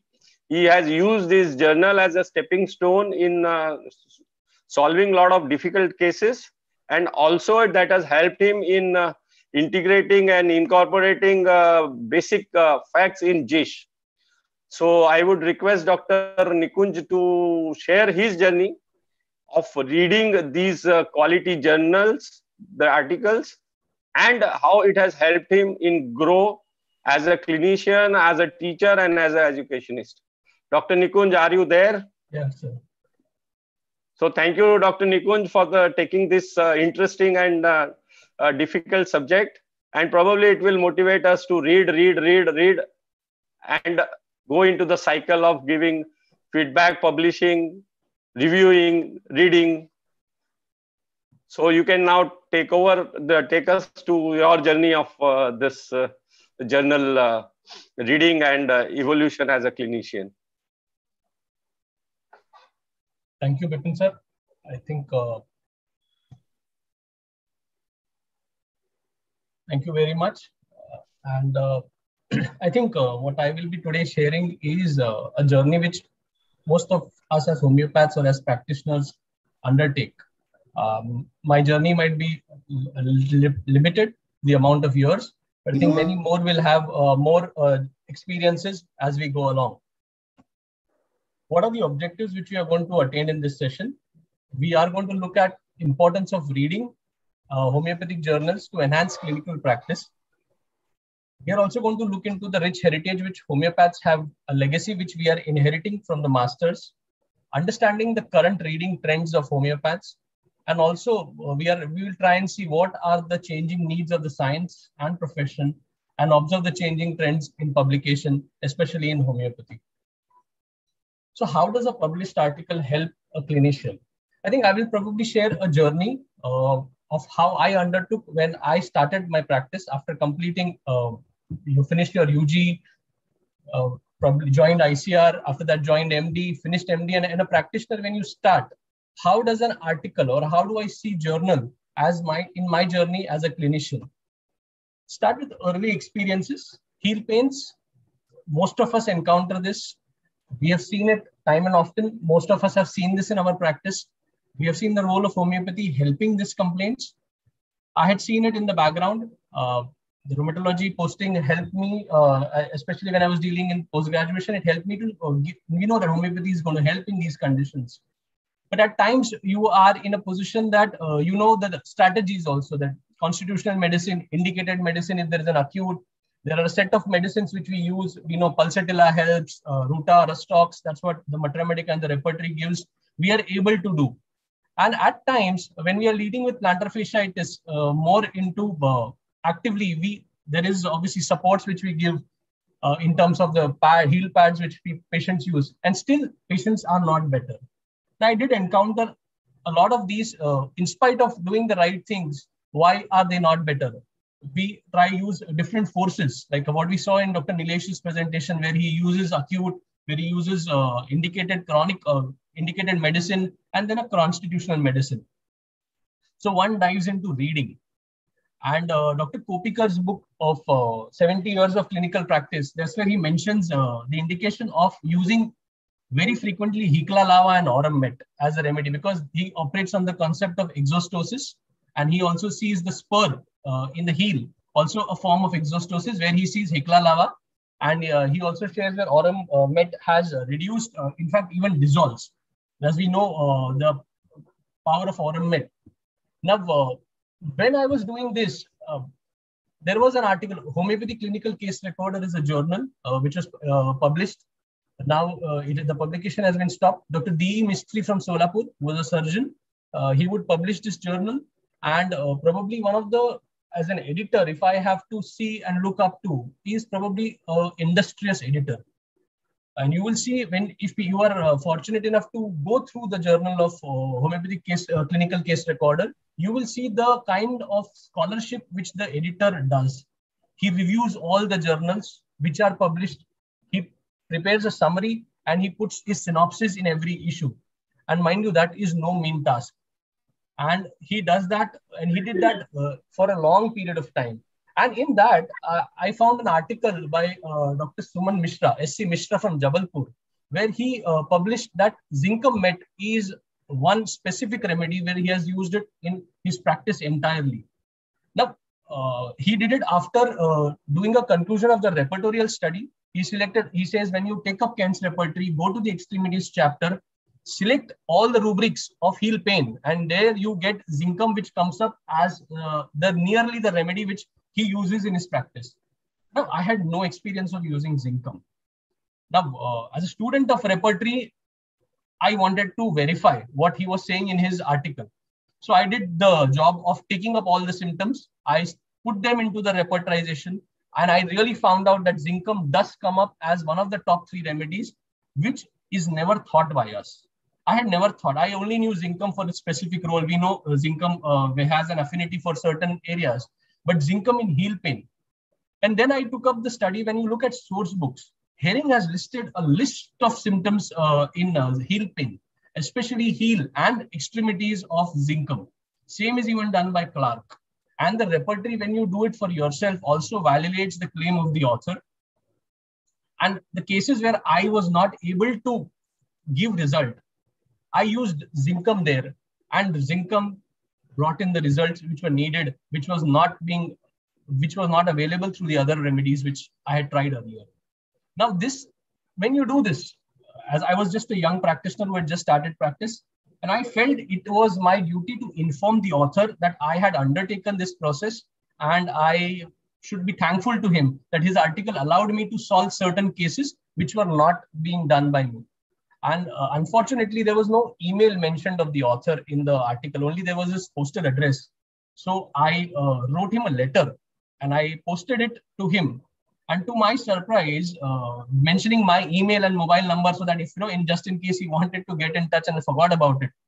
And uh, to my surprise, after probably a span of time, uh, there was a parcel which arrived in my clinic uh, with the address which I had given. And it contained the author's three books which he had written and uh, also a letter stating that uh, he was very happy that somebody had read it and uh, somebody comes back uh, telling that the article has been useful. And uh, uh, he also shared his email that time that which i requested him to do so. And and i was not expecting i was a novice. I had just started practice. I had no name at all. And you send an author the author is gracious enough to send you his published books and he tells uh, read them and see if you are able to learn something from this as well. And it was a gesture which really touched me. I continued the correspondence with the author especially if uh, some of my articles would get published especially in vital informer. I would get a message or an email from him read your article keep doing the good work uh, a short email and uh, pleasantries would be exchanged. Till his death in 2018 uh, the correspondence continued. It was not a regular correspondence, but especially when the article of mine pub- got published, he would make a point to just drop in an email and just say, continue the good work. Now, this for a young clinician who's just starting his practice is very, very encouraging. And uh, the journal allowed me to establish professional relationships that we value each other and we can learn from each other from peer learning. And this was something which went a long way in as I progressed in my career as a clinician. So this may be a small case where you know uh, NX remedy was used, but I think uh, it started off how a journal helps you to understand and opens up newer avenues of learning when one does that. Again, earlier experiences of psoriasis. Of course, uh, Palghar uh, has a, a, brilliant skin OPD, and uh, we had a well-established department where we saw variety of cases of skin when we were doing our postgraduate training. I started my practice, and when you start uh, encountering psoriasis, and you see that this condition is coming to you quite often. And when uh, one needs is a refresher course, one needs to understand. We have seen cases as students, as a postgraduate trainees. But when I want it in a nutshell, where do I refer to? I think what uh, Sir uh, Sir also raised a point uh, in Chirag's presentation was that we are uh, we need books which are written from our perspectives, where we are able to see all the areas of clinical practice in one nutshell. And I think uh, IJHM needs no introduction. Uh, it was edited by illustrious Dr. Praful Barvalia sir, and uh, probably the kind of uh, scholarship which sir has, the journal uh, inculcated all the values which a good journal should have. And I think uh, probably one of the best uh, journal, my favorite journal covers or the jacket has been IJHM because you see the banyan tree, the Tagore saying, I think it's beautiful. and uh, what this issue of uh, psoriasis did was it has got a variety of cases. You have Dr. C.B. Jain cases there. You have NVM and uh, uh, sir talking about psoriatic arthropathy. You have a variety of cases which cover all the areas which a practicing clinician should refer to when it comes to psoriasis. And these are my early experiences. Of course, as we grew up in practice, we were able to see more dissertations, we were able to see more articles in peer-reviewed journals. But this journal became a starting point for one to actually have a short refresher course for a condition. It gave you experiences of brilliant clinicians who have been able to make a lot of change in their practice. It gave you pointers of how one should go about, and it allowed one to actually uh, take an overview and apply it in their practice. And of course, it helped uh, a young clinician to grow also in its own practice. So this was another issue which, when it comes to reading, and I think this helped uh, to develop certain insights into one clinical condition. Again, uh, alopecia. Now, uh, I've seen, as I said, skin OPD was uh, very much uh, very well established OPD in RHH Palghar. And when one sees a lot of cases of alopecia, what when alopecia first came to me in practice in the clinic, I was the questions were what potency to be used, what would be the repetition, because you are it may look simple, but you are essentially managing an autoimmune disorder. And again, homeopathic case, uh, clinical case recorder, I came across a case report by Dr. S.K. Mamgain from Dehradun.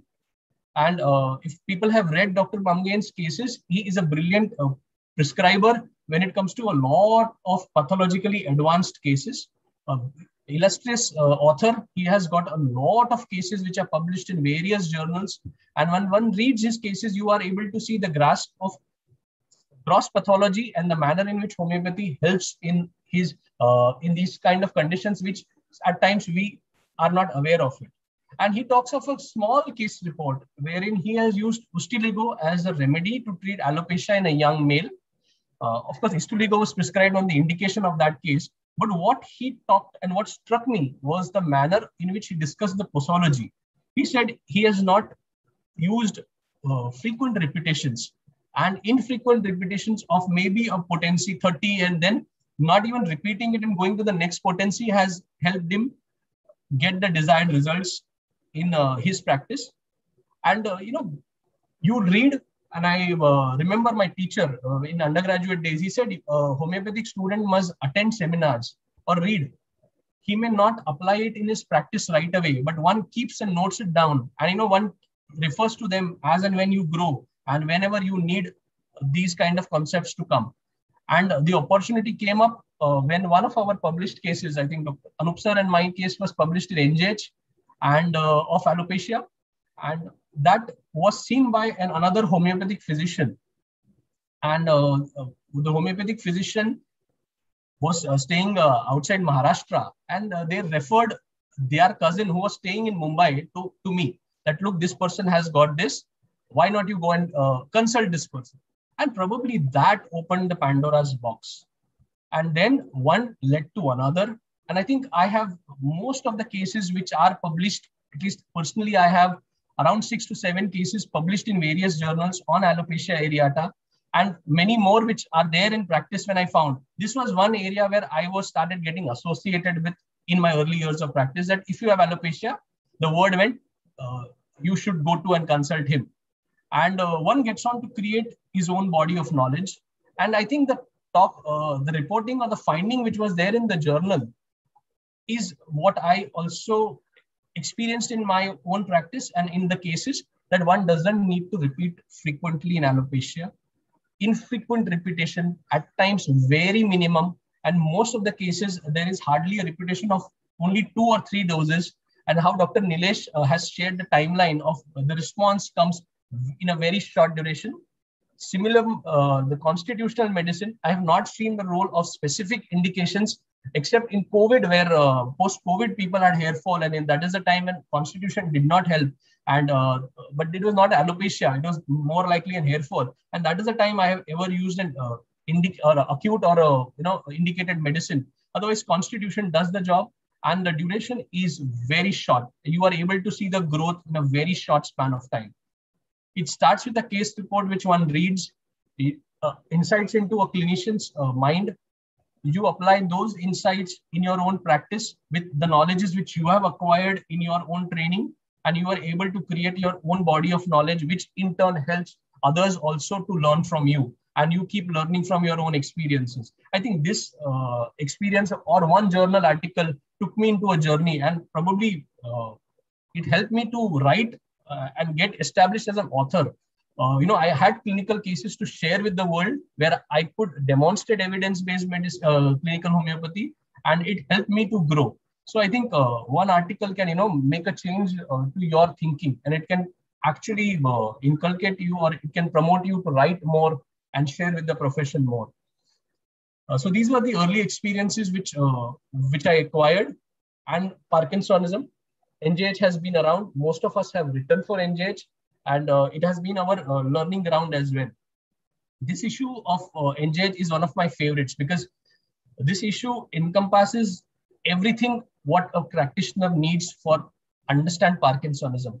Suddenly, there was, uh, as you know, the clinician sits. You are able to see that some clinical conditions come to your practice and then you start seeing uh, you have experiences but not that great and you know the law of nature that you are blessed with more and more cases of that same condition and you need to deliver results. Experiences were there. I had a certain amount i had seen certain cases but it was a limited experience. What i needed was how much is our role? What does homeopathy actually do in parkinsonism?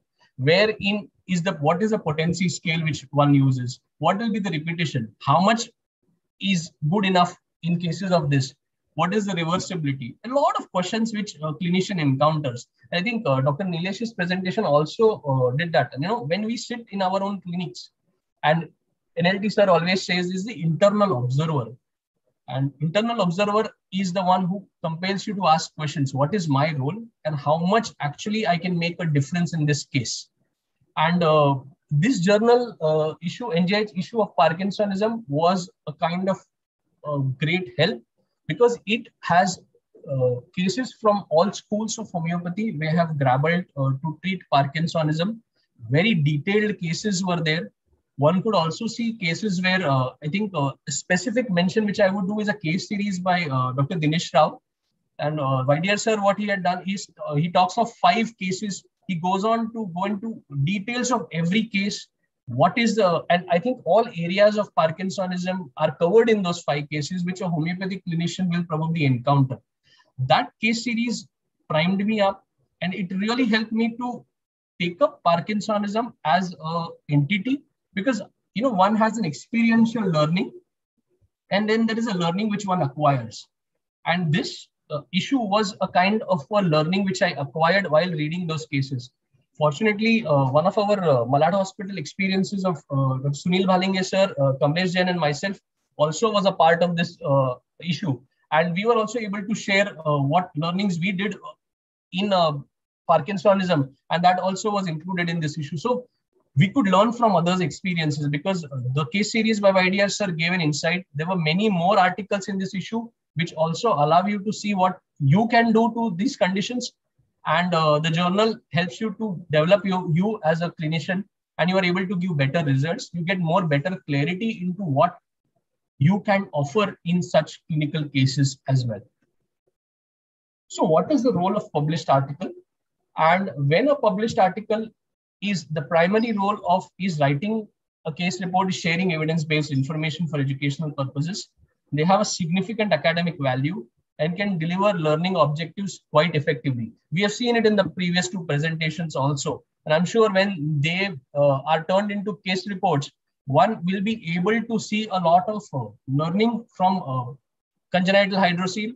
JISH has one uh, article, uh, one case report which has been published of congenital hydrocele. One goes on to build a body of knowledge of these five case series will add more and contribute more to the body of knowledge for the profession. As I said, case reports, case series help uh, education of medical students and practitioners. I shared the previous experiences. As a practitioner, I was definitely able to learn a lot from these case reports.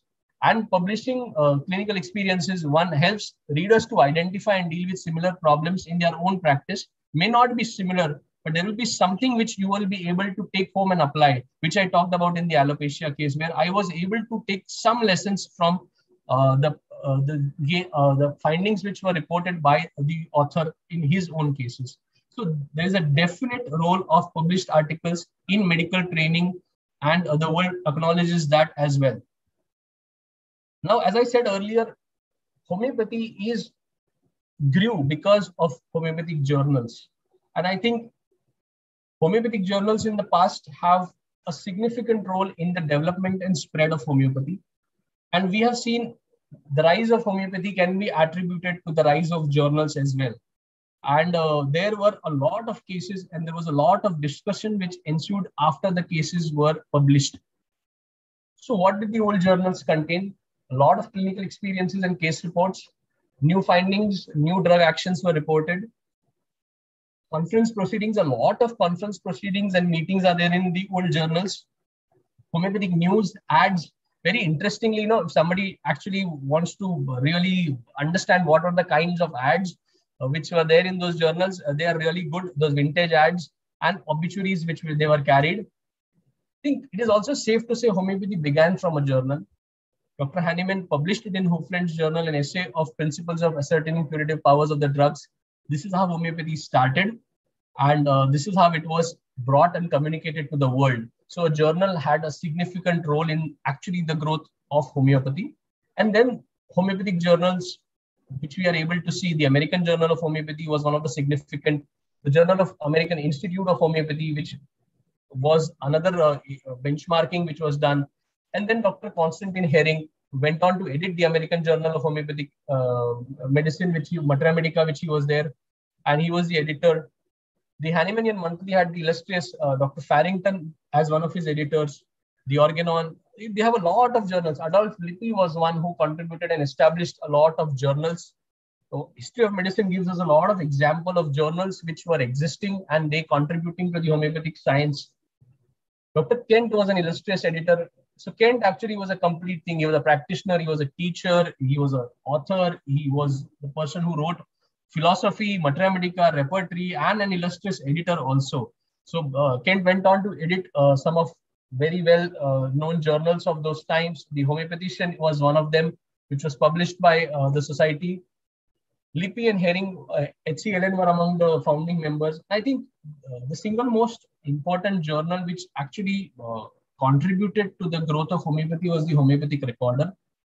We are fortunate to see the physical copies of homeopathic recorder. Palghar Library has nearly all the copies of physical copies of homeopathic recorder. They're kept in lock and key and uh, one can actually visit and read them. They're fragile and uh, it's a treasure.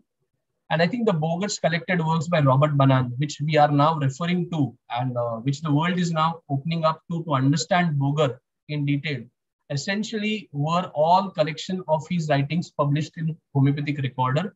Uh, this went on to understand, uh, helped a long way in understanding Boger and his concepts, which we are now trying to understand and, study in a more detailed manner. So journals did play a great role in uh, propagation of homeopathic thought processes and concepts and helped in the growth of homeopathy. What we also know is that the previous generation or the masters read a lot. The journal survives because there are readers. And without the reader, there is no journal. Because if you don't read, the journal will stop. So do the current generation of homeopathic practitioner read journals? And I would say a yes. A cross-sectional survey which we carried out in 2019 gave a statistics of 93% of homeopathic practitioners felt that reading journals was very vital and important to keeping themselves and homeopathy active and alive. 93% is a huge number. It was a cross-sectional survey and uh, from all walks people had participated in this survey and majority of the homeopaths at least read one journal. And out of the multiple uh, reasons why they read, uh, these were the top four reasons is enhancing the knowledge of homeopathy, enhancing clinical knowledge, research-based aptitude, and teaching learning processes which were seen. And most of them felt that they should read journals to keep them updated with uh, the current trends in homeopathy as well. And most also have said they found difficulty in time to read more, but they did try to read one journal or, you know, they did it in between infrequently. but this was the survey which the findings which came. What do the homeopathic practitioners actually want to read? Large number of the responses which came up was 91 or more than 90 people prefer to read clinical cases and case reports. Followed by a second large number is people are now wanting or opening up to read scientific research based articles. Traditionally, homeopathy has always been case reports, expressions through case uh,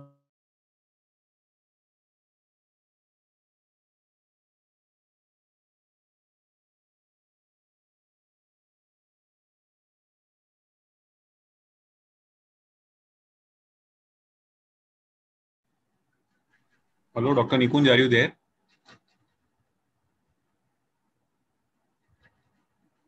Some problem with his connectivity.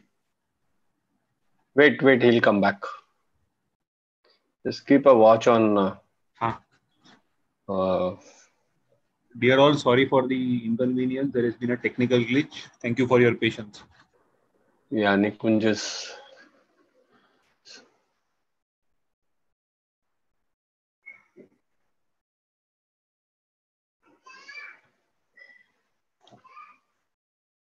You'll have to readmit him probably.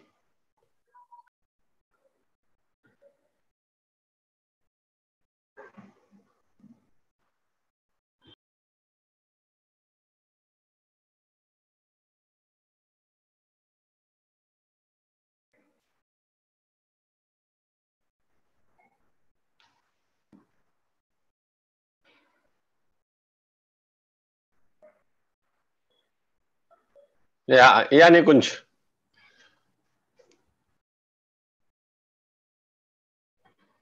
Uh, there was some kind of a power outage. I'm so sorry. The connection got lost. Uh, yeah. Yeah. Please continue. Please continue. Yeah. Yeah. Uh, so what we found was uh, clinical case reports are the ones which uh, most. Please do them, the full full screen. Full screen. Yeah. And one finds uh, clinical case reports and scientific based articles are the second most preferred. Of course, then uh, there are the other set of articles which people like to read.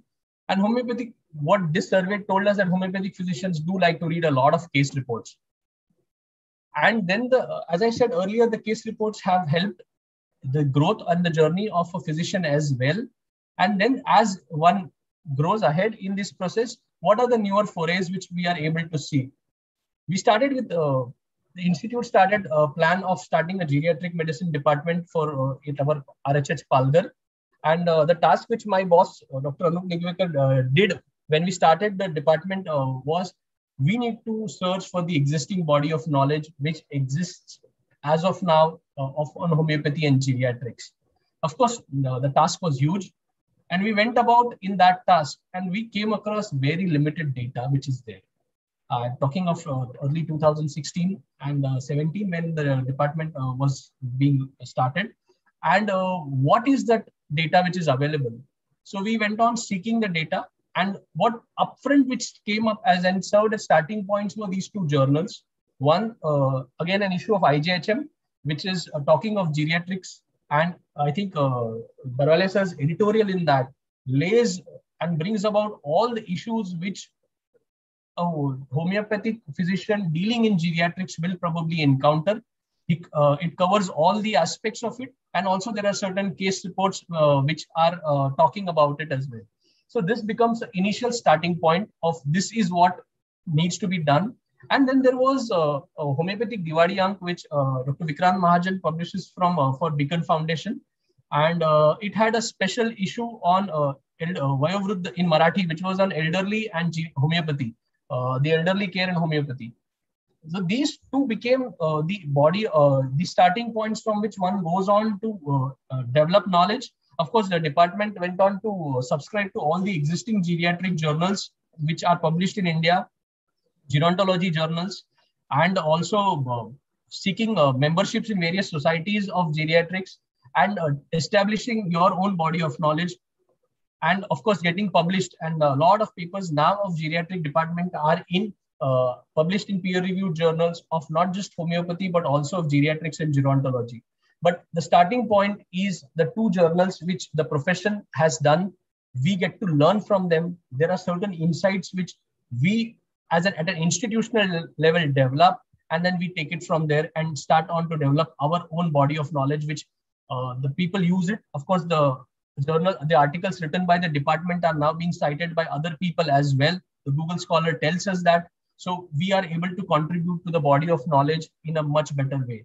But you know, there is all Gango, you know, there is always the starting point, and these two journals did serve as the starting point when we went on to study a subject or establish a department uh, at the early stages. Same as uh, as a teacher, you grow as a clinician uh, in your own clinic you start uh, settling to some extent and then there is uh, you are a teacher now. I joined uh, and there is certain repertories or the clinical repertories which don't use so often in our own clinical practices. I learned this repertory. We had elaborate sessions on this. We had taken up uh, some cases also which we had worked on it. So i knew the plan i knew the construction uh, as a student of post graduation in repertory when I joined as a faculty, and that is one year, department decided that we are going to take up regional repertories for dissertations this year. And uh, Yingling's repertory was selected as one of the repertories where we would be using it in labor and induction of labor, and we will be applying this repertory. Now, the problem which the student came up with the department is what is the review of literature which the student builds its premise on to go on to study uh, obviously it was a prospective study so student would work. We knew all the design was there but how does one build a review upon and uh, build your uh, the whole logic on what are you going to do? And uh, vital informer is a journal which is i think most of us are aware of. It is well read journal published from new delhi. And dr krishnamurthy from chennai published one article in vital informer where he, he goes on to talk about utility of Yingling repertory in his cases. I think he had shared uh, three, four cases, uh, which was there, and uh, he very demonstrated uh, the role of Yingling's repertory in his own practice. That became the entry point for the student. The student was asked uh, to send correspond with the author, keeping the faculty members in uh, the CC to the mail. The author was gracious enough to send his own personal cases. I think he, the author sent his own personal five more cases other than the journal cases and uh, he said any more help needed he would be happy to help. The student went on to build on the review or the primary cases which the author had sent. And then student went on to apply them and do it. Of course this is one of the department's finest works uh, where we are able to see the application of this repertory through well documented prospective study. Homeopathy studied on partogram the role of homeopathy in labor induction of labor it's a detailed study which is done. And uh, when the student was able to come up with valid conclusions the department head anup sir decided to convey the findings to the author. He wrote a thanking mail to the author as the head of department of helping his student. And a kind of a unique private practitioner institutional relationship was developed. The author invited him whenever he is in chennai to uh, visit him. And now see uh, you know this is the need of the hour private practitioner, the institutes or the teaching institutions tend to at times disregard the value of the private practitioner who has the experience in clinics. And private practitioners are very happy giving and delivering results and promoting homeopathy, but their knowledge needs to go to the institutions where students are being trained. And this is a very unique way in which a private practitioner contributes to the development of uh, educational uh, student in an educational manner. Uh, the educational institute reports the findings duly back to the practitioner, thanking him for his help, and the profession grows. And I think it's a mutual respect and trust which helps the profession to grow in a much better way. New pregnants, these are case reports which help us to grow, apply it into a little bit of practice. And of course, with the evidence-based and homeopathy being looked upon as, uh, you know, a lot of times we are criticized for not being evidence-based how do we, uh, what are the newer needs and how our newer responses have to be. I had a case of uh, the young anesthetist, you know, probably a year, couple of years younger than me, visited on the insistence of his wife, who was a firm believer for a case of rheumatoid arthritis for his mother. And uh, he had doubts and concerns of his uh, role regarding who homeopathy. Now, uh, what I was very sure I would be able to deliver in terms of uh, rheumatoid arthritis because one uh, is the you know you are you have established, you've seen a lot of experiences. I was blessed as an undergraduate student in CMP. I was uh, privy to Dr. Mamtora and Dr. Nimish Mehta's rheumatology OPD. I had learned there. I come to ICR. I was uh, my uh, supervisors. All of them had cases of uh, rheumatological origin, so I learned from there. I go to palghar the huge rheumatology OPD which was there. I uh, had all I had the fortune of having the posting of all my three years of residency. I had a rheumatology posting. And then when I joined as a faculty, I was given the clinical OPD to assist Dr. Uh, in uh, rheumatology, and then which continues till date. So this was one area which I knew that I had seen, I had years of experience to me, and I could deliver the results. But the thing is, you know, how do you convince a child outside an Hamleys toy shop that he is going to get whatever he wants in that shop, but he has to come inside? Only if you step in, you will be able to deliver the goods. And the physician was he came to meet himself uh, because the wife insisted wife uh, was a chartered accountant who was referred by his office colleagues and uh, she was better for her complaints. And he told very bluntly that look wife had functional complaints. You give results. I'm not too convinced. And he had a set of questions for me. What are you going to do with homeopathy? When are you going to stop uh, NSAIDs which are going to be there how well are the serological findings which are going to come up what is homeopathy going to do I had a lot of experience. We had uh, symposiums where we had presented cases. We had certain case reports which we had published in journals. But his questions made me think that there is no research-based uh, study which we had uh, written. Case reports are fine. Uh, they are valid. We have seen that. But the Oxford uh, criteria of evidence-based medicine again puts case reports in the lowest hierarchy of reporting findings. Of course, they are in when it comes to academic publishing, they are considered in the lowest strata. For a practitioner, it is fine. But when I'm looking at uh, the articles or in research, original articles have their own rules. Research-based articles are the most important. And you have a skeptic who's questioning you, and he was very valid to question. An article in IJRH, which is done, answers a lot of these questions. When what there are scales which are used, quality of life in RA, disease activity score, which is reduced with homeopathic medicines, the reduction in NSAIDs, which happens when homeopathy is started, when the indicated similum, simillimum is started, you are able to do that. Serological findings reduced, and homeopathic medicines are able to do that. He was shared this. He said, I have done a lot of things. And if one actually goes to a Google Scholar of PubMed, one finds a lot of articles which uh, remove the claim that homeopathy is just a placebo therapy and it does not have any effect in joint disorders. One can read there a lot of them. There is not much uh, evidential based uh, papers which are existing. This paper in IJRH was one of them. The son stepped into the store. The experience and homeopathy both were able to deliver the goods. The result was there, and the son became a little more anxious. Uh, and then probably the son opened up that rather than being doubting the system, he was more anxious that his mother should not be subjected to some kind of an experiment, which he didn't want to do.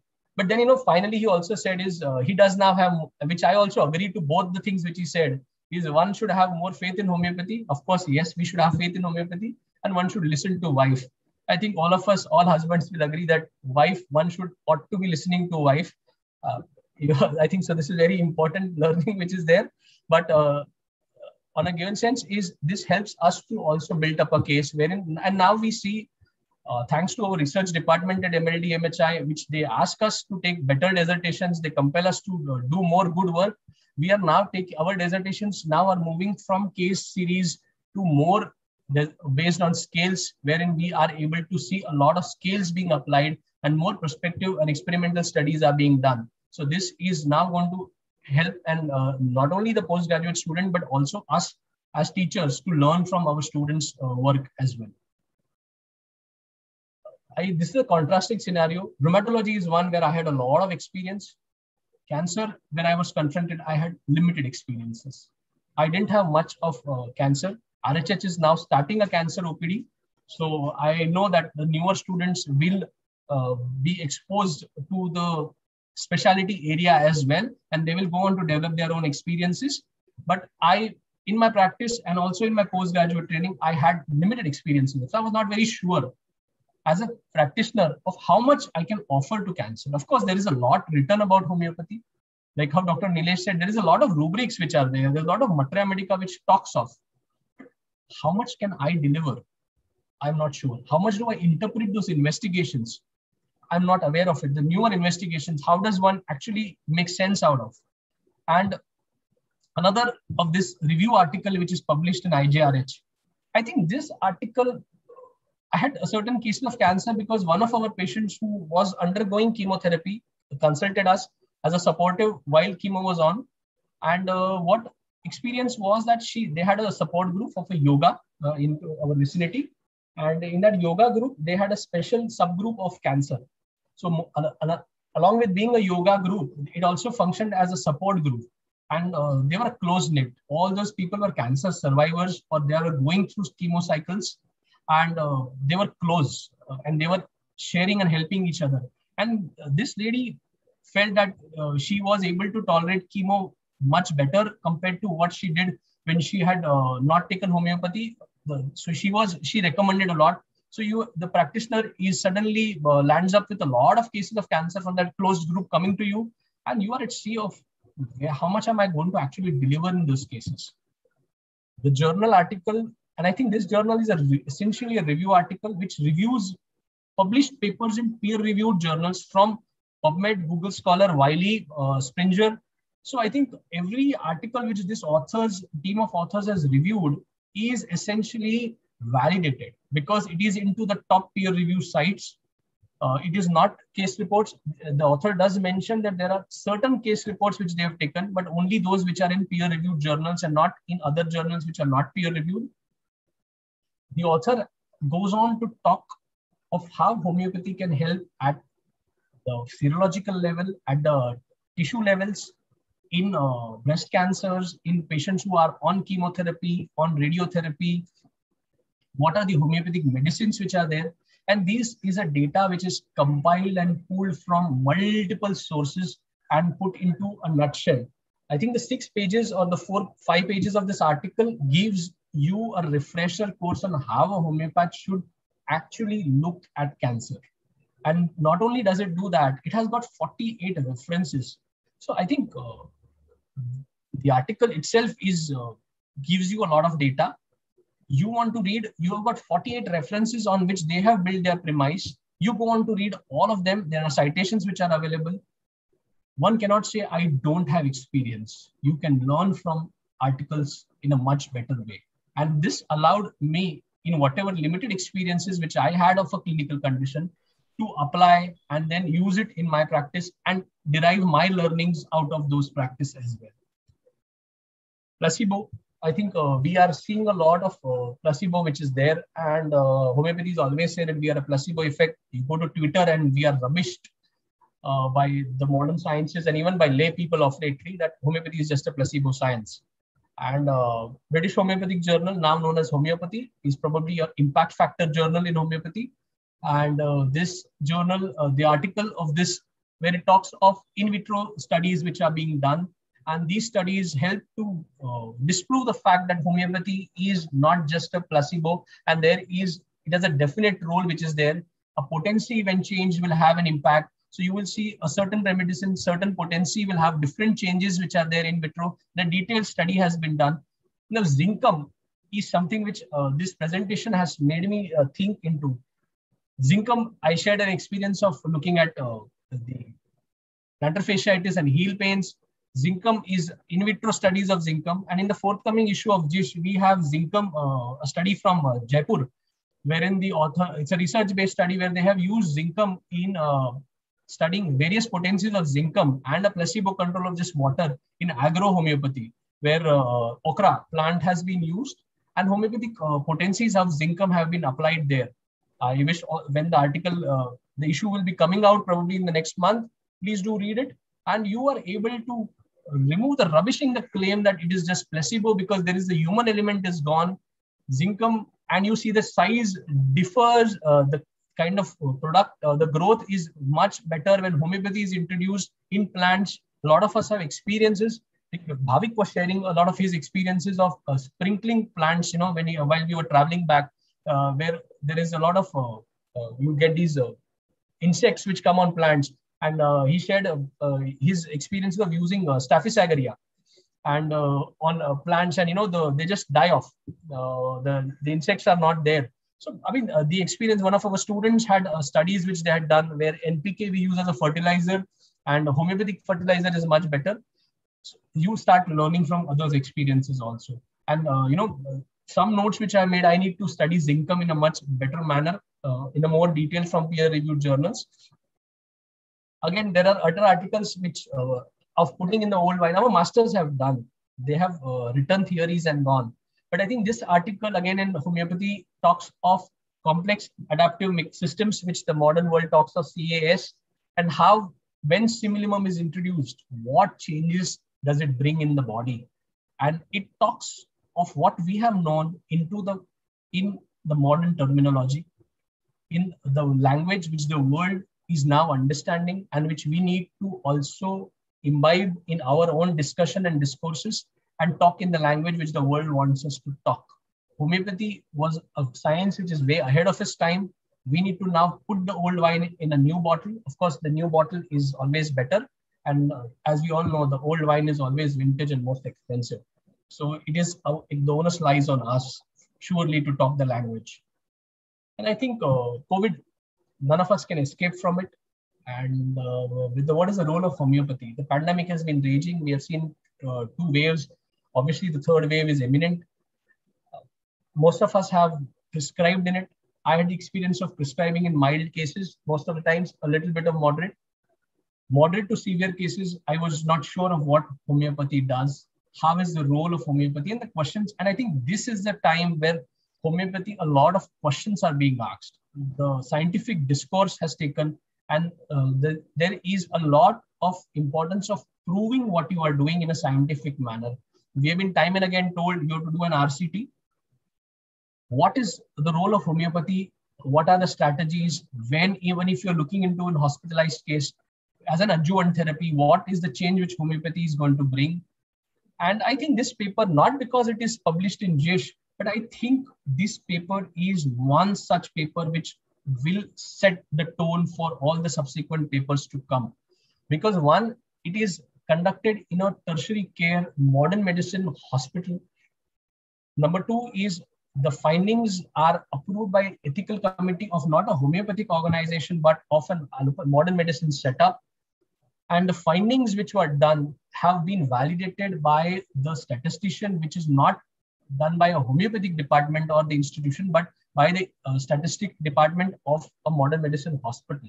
And it's an RCT. I think while writing the editorial for this issue, uh, what I think uh, the article has referred to a lot of uh, studies which are already the work which has been done on COVID. A lot of good work has occurred and has been published in peer-reviewed journals.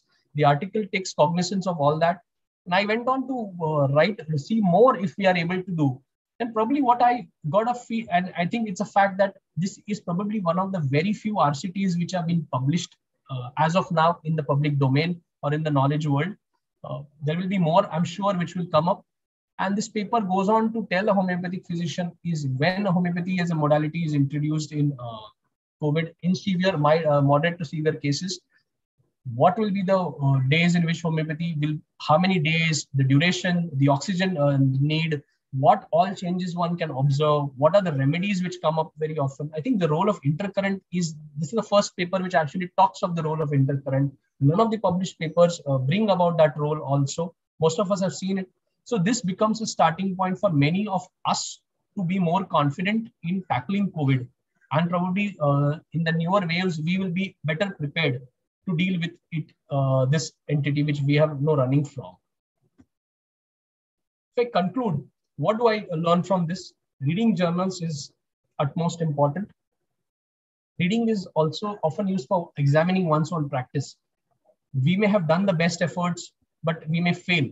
How does one look at those problems, reads it, learns from somebody's experience and applies it, and goes on to update one's own body of knowledge?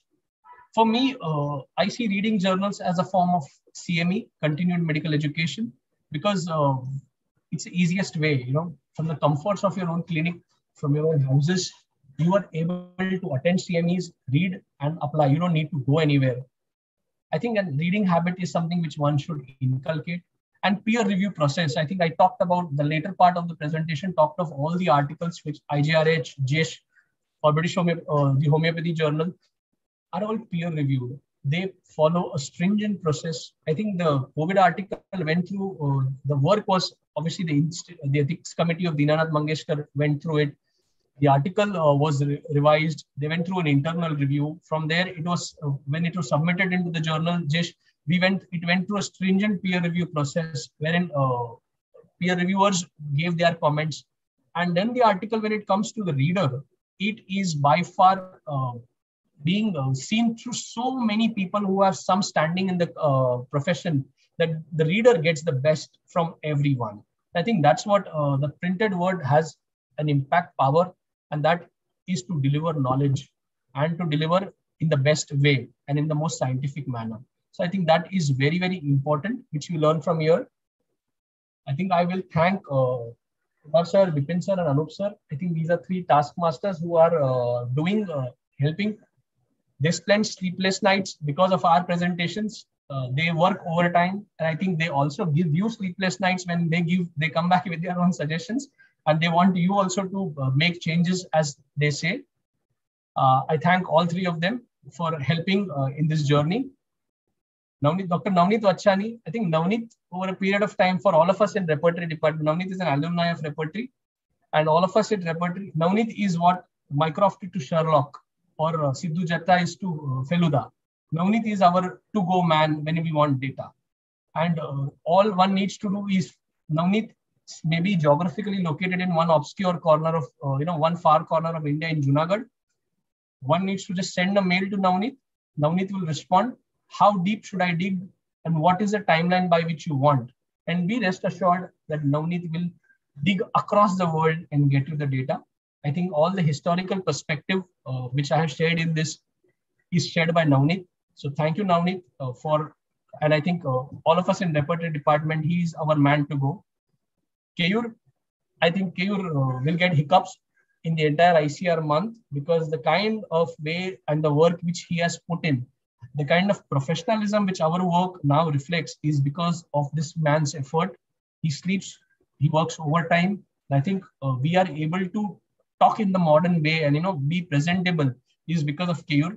He takes and you know what you see or the presentations which we are able to do is because uh, Keyur has taken a dry run. He takes dress rehearsals. He times your presentation.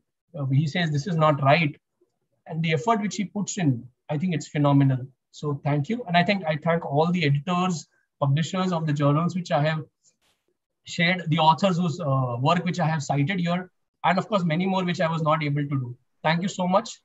I will leave you with, um, I don't read too much of Hindi poetry, but one uh, poet which I really like is Bhavani Prasad Mishra. And uh, I leave you with these lines, which something which I try to imbibe in every day. And uh, I think writing is difficult we may not everyone is blessed so it's difficult for us to write but reading is easy and i think uh, we should read and i think reading is not only confined to reading uh, reading that is the physical book uh, today's world reading is much more visual i think at icr what is the best part is uh, you know icr and mld mhi are updated with times so if you want to read the icr gives you all the options reading jish is there all the journals are there for you to physically read online read those journals, you can do that. Reading is also visual reading.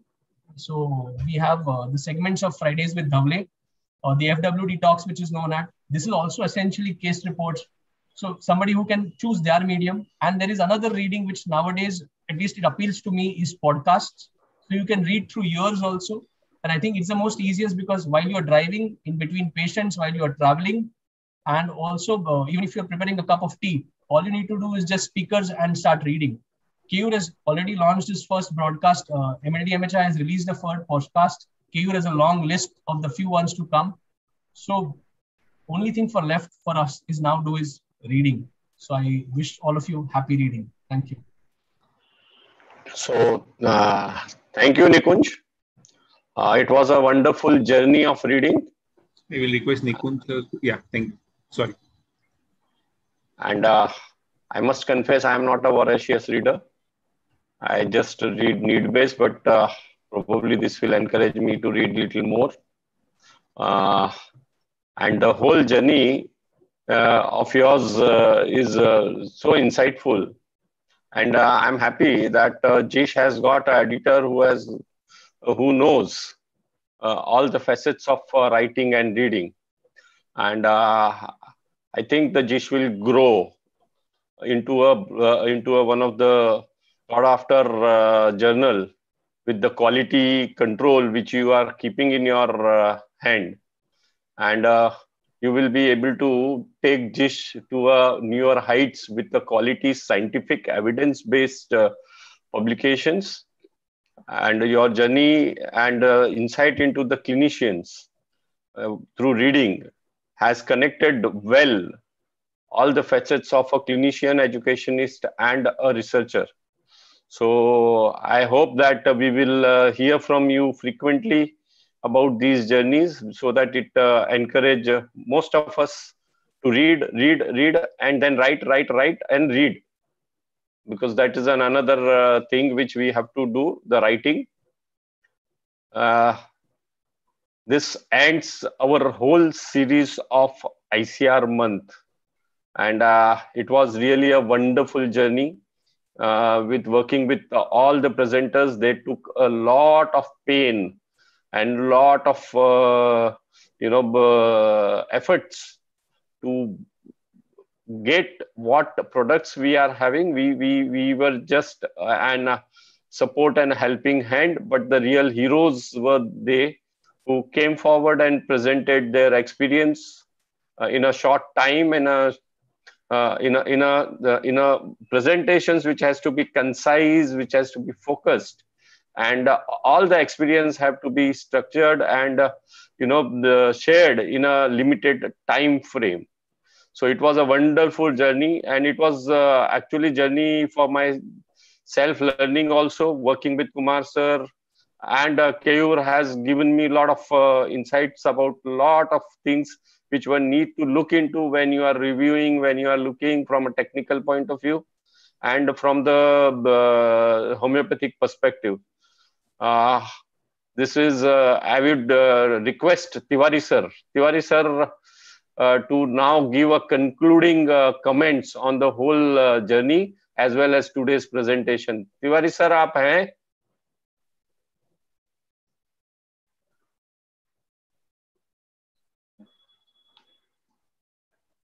He's there. Tiwari sir? I think he just got locked out. Hold uh, on. just call, call call him and I one. in the meanwhile uh, kumar sir any comment on the whole journey because you were the uh, task creator and i agree with it No, no, that's a little uh, overstretching, which, Nah, I- Nilesh, which Nilesh normally does. So I, i knew I, I i want to hear something else than this no, I think um, uh, this opportunity, both last year and this year, which the unfortunate pandemic has imposed upon us, and I think that it has brought out uh, hidden potentials within a lot of people in the institute. Now, for example, in today's presentation, I would really, really not have imagined that Nilesh and Chirag would be able to make such excellent presentations of their material. And I think all of us are sitting on heaps of material like this. It is not that uh, Nilesh and uh, Chirag have to be singled out. All of us are in there, but not many of us take the trouble to look at what we are doing, what we have done, and they are prepared to consolidate. I think that is a very, very important thing. Unless your detail, varied experiences, unless they are consolidated, they will not become a fund of knowledge. And so, therefore, we have now taken this avenue that first talk about what you have done because talking sometimes is easier than writing. And uh, once you have talked about it, things get organized in your mind, and then it is possible for you to start writing. You know, all of us are not like MLD sir. MLD sir used to write the entire gist of the chapter or the book in advance. One can never know how he used to do it. I always tell all our writers that look how the textbook has been written. The whole textbook, the entire initial portion of the textbook, the sections, the headings, the chapters, the subsections, everything was written clear cut in his mind and then he just goes on elaborating each section. That is not how we are trained, that is not how we have evolved. We have evolved the other way. We are more of an inductive presenters. So we look at our experience, we build our experience gradually, we start gaining greater and greater confidence in our ability to look at the broader picture and then we are able to reduce that broad picture into writing. Now, writing has got its own uh, thing. I'm asking Nikunj to start a workshop on how to write, and I think that will help a lot of our budding authors to take on the pen and start writing. But uh, I would feel that we must continue with these um, ep episodes on an ongoing basis, and I'm uh, glad I don't know Bipin sir has not announced it, but at least once a month we would like to make it one Sunday a month. We would like to make these uh, presentations a regular feature so that uh, we are able to get an opportunity to work, to listen and to write. So thank you um, the all ICR alumni MLD MHI team for making this possible and to be able to ascend one step of the ladder towards building an evidence base. Tiwari sir is there, huh, sir? Yeah. So let Tiwari sir please conclude.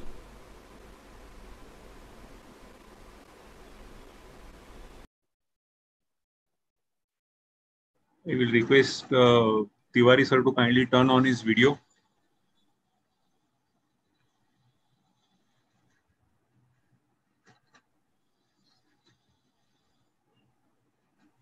And also request him to unmute himself.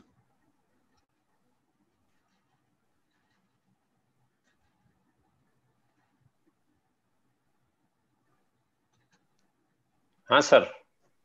आपका final conclusion of the whole series और आज का presentation and we will conclude with your blessings I think this whole series I shared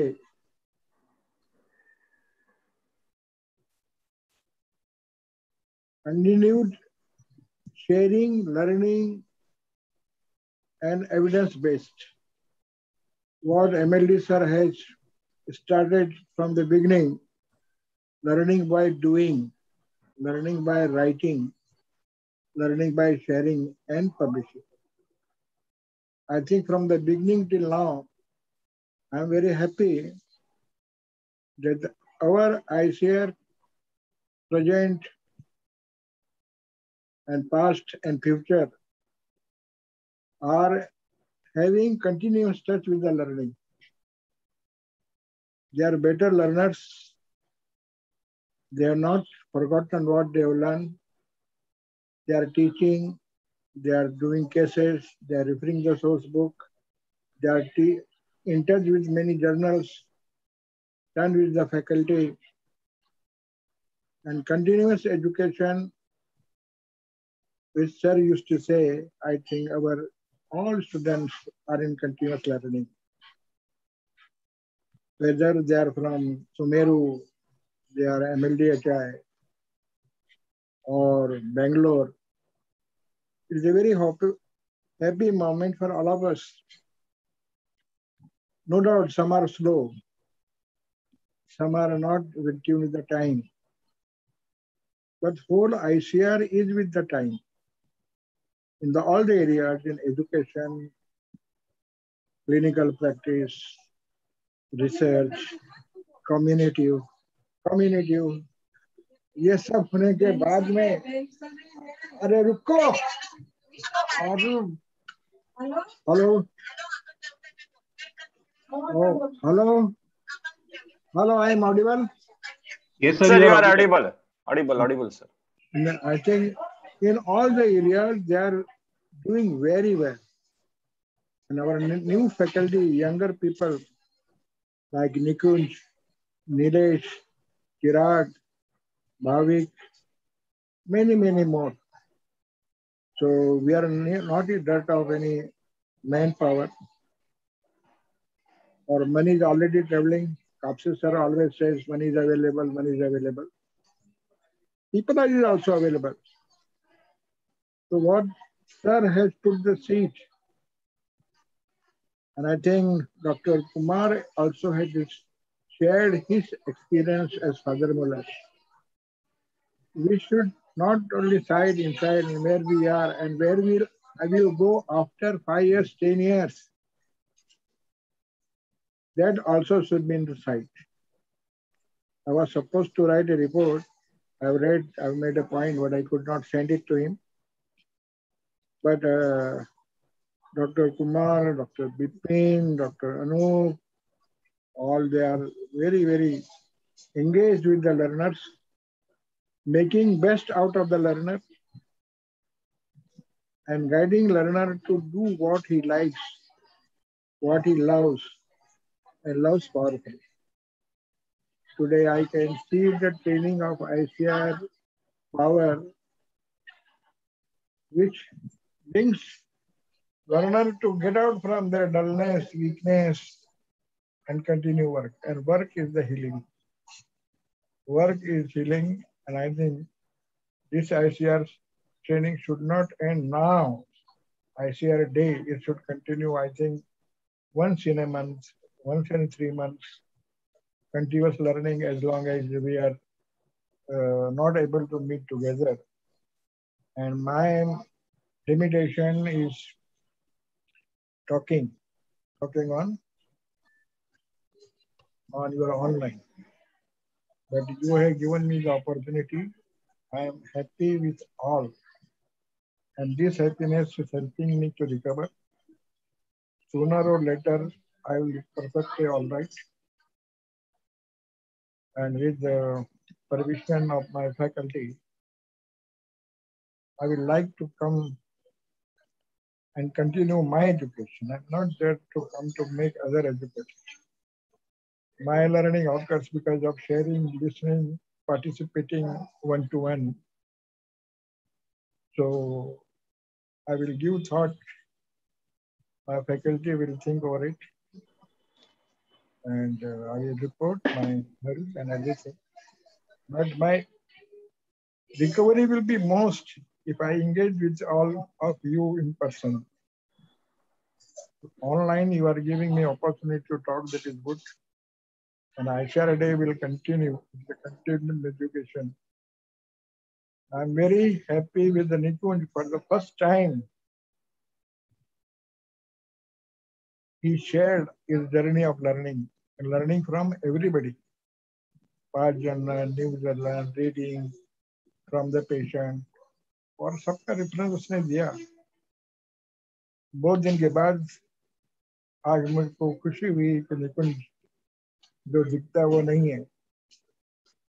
Nikunj great asset Neeraj Chirag Chirag Singh क्या मैं जब बात नहीं करता हूँ ना तो I go into sadness and depression और जब मैं बात करता हूँ तो लोग बहुत बिज़ी रहते हैं, उनको फ़ोन लेने का भी टाइम नहीं रहता है तो I don't disturb I only phone when I think it is necessary. तो ये आयशर डे एंड नहीं हुआ है. आयशर डे नया शुरू हुआ है. 2021, 2025 एंड 2030 30 तक जो हमको करना है उसके लिए सब कुछ अपने पास है. और सर का आशीर्वाद अपने साथ में है. उन्हीं के उन्हीं के आशीर्वाद से अपन सब काम कर रहे हैं. Or in adverse circumstances, also we can face a move ahead. Corona ने तो लर्निंग बंद कर दिया था और कोरोना में बहुत कम हुआ है। ये आज आज दिख रहा है और ये दिखता रहेगा। विपिन सर कुमार से, से रिक्वेस्ट है कि ये जो लोग कितने हैं उसके पहले भी जिसने शेयर किया एक्सपीरियंस अपने पास बहुत फंड है लर्निंग का। और अपना आर लिटरेचर है बहुत सी बुक आज भी बंद हैं, उनको बंद नहीं रहने दें। जितना भी अपने समझ में आता है, पढ़ के शेयर करना ज़रूरी है, वही अपनी वही अपनी व्यर्थ है। जो बोलता ना, विद्या सर ने खाली ये बताया कि तुम क्या हो what you are and what you are suppose to do and what is purpose of your life और जिसको पर्पज समझ जाता है और आज की फैकल्टी को पर्पज क्लियर है that they are not in confusion और मूविंग अहेड जब दिन दूर नहीं है जब I start learning will be universal, not in the college this. और नेशनल जो एजुकेशन कमिटी बनी है उसके ऊपर भी कुमार ने बहुत कुछ लिखा है ये शेयर करना चाहिए, भेजना चाहिए कि what we have done in CCH and what we expect क्या बोलते हैं नेशनल फैकल्टी ने जो बनाया गया उनके पास में से जाना चाहिए। But we are not trying to raise ourself we are only people but ICR and MLD HI is the people who make homeopathy universal. जो एविडेंस बेस्ड है, वो हवा में बात नहीं करते। तो इतना ही है। सबका आशीर्वाद, सर का आशीर्वाद अपने सर के साथ में है। उनको जो याद किया, कम से कम एक महीना। सर ने तो एलईडी का एक महीने का प्रोग्राम किया था, और किया था। तो गुरु शिष्य परंपरा चलती रहे कांटेक्ट में रहे। कभी कभी गलती से आप लोग भी फ़ोन कर दिया करो। क्योंकि तो आप सब समझते हैं मेरी limitation thank you very much for doing this ICR dial in grand grand manner focus examine learning continuity education और सबसे अच्छा जो निकुश ने बोला। लर्निंग राइटिंग एंड पब्लिशिंग और पब्लिश करके कौन कहाँ पहुँच सकता है? बिल्कुल अच्छा किया न? क्यों? तुम्हारा नाम ले रहा हूँ मैं खाली पर सभी लर्नर से मैं बहुत हैप्पी हूँ। जिसे आपके बेंगलोर ग्रुप ने लिखा है। हाँ बेंगलोर ग्रुप ने मांगा है कि जो भी आपको चाहिए और सॉरी मैं maybe out of subject Kali Bikram का जो मैंने आपके पास भेजा है वो अपडेट आप, आप सबके हेल्प से ही होगा। बेंगलोर ने मांगा है कि भाई मैं आपका नोट भेज दो will do something Hitesh Purohit ने भी बोला है और एस के पी ने बोला कि नोट भेजो तो अधूरे काम को पूरा करें। मेरे पास खाली दो ही काम है। ये बुकलेट पूरा करना और case in homeopathic practice problem definition problem resolution उसका एक केस है, जो सर का एक केस है, जो बहुत मेरे नज़दीक है। उसका पूरा मटेरियल मैंने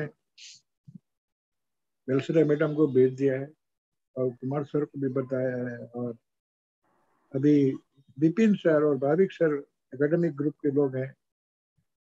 अनु से भी कभी कभी बात करता रहता हूँ, वो तो टाइम मैनेजमेंट में दो सेंटेंस में बात करता है और कभी कभी लंबी बात भी करता है। मनोज मनोज तो अपनी बुक में बिज़ी है। I know everybody is busy in very lot of work but ये आपको ही आगे लेके जाना है। आप मेरा मैं कोई नर्वस नहीं हूँ डिप्रेस नहीं हूँ, पर लाइफ को रिस्पेक्ट करना होता है। कम डाउन क्योंकि उतना चढ़ाव आते रहते हैं। इतना वक्त है मेरे पास, मुझे मालूम नहीं। मैंने यंगर ग्रुप को देख के स्पष्ट मुझे लगा कि जो मेरी गलत फहमियाँ थी, कुछ हो नहीं रहा है, कोई कर नहीं रहा है, ऐसा नहीं है। बहुत अच्छा कर रहे हैं और ये नाम सर के नाम से है सबका। किसी का इंडिविजुअल कुछ भी नहीं है। तो thank you very much giving me opportunity to express me out तो अपने सर पे सर का हाथ जब तक रहेगा, जब तक अपन काम करते रहेंगे। काम विद पर्पज काम विद गोल और कुमार सर ने जो फादर मुरल में बोला है, उन्हें तो एजुकेशन कैसा होना चाहिए, सब लिखा है। करुणा का लो मेंटल हेल्थ का लो बहुत कुछ अन्य है। मैंने पॉइंट लिखे हैं मगर मैं टाइप करके भेज नहीं सका। I am sorry Kumar. मगर आपने जर्नी अच्छी की है। 45 मिनट्स में आपने 45 इयर्स 50 इयर्स का एक्सपीरियंस सबको दे दिया। जो भी पढ़ेगा वो एजुकेशनिस्ट उसको ध्यान में आया कि होम्योपैथी क्या है। होम्योपैथी बहुत एडवांस साइंस है एडवांस लोगों के लिए है। ये ध्यान में आए ये नीलेश ने जो केसेस शेयर किए और चिराग ने जो पैथोफिजियोलॉजी की बात किया नहीं ये बहुत आगे हैं अपने से।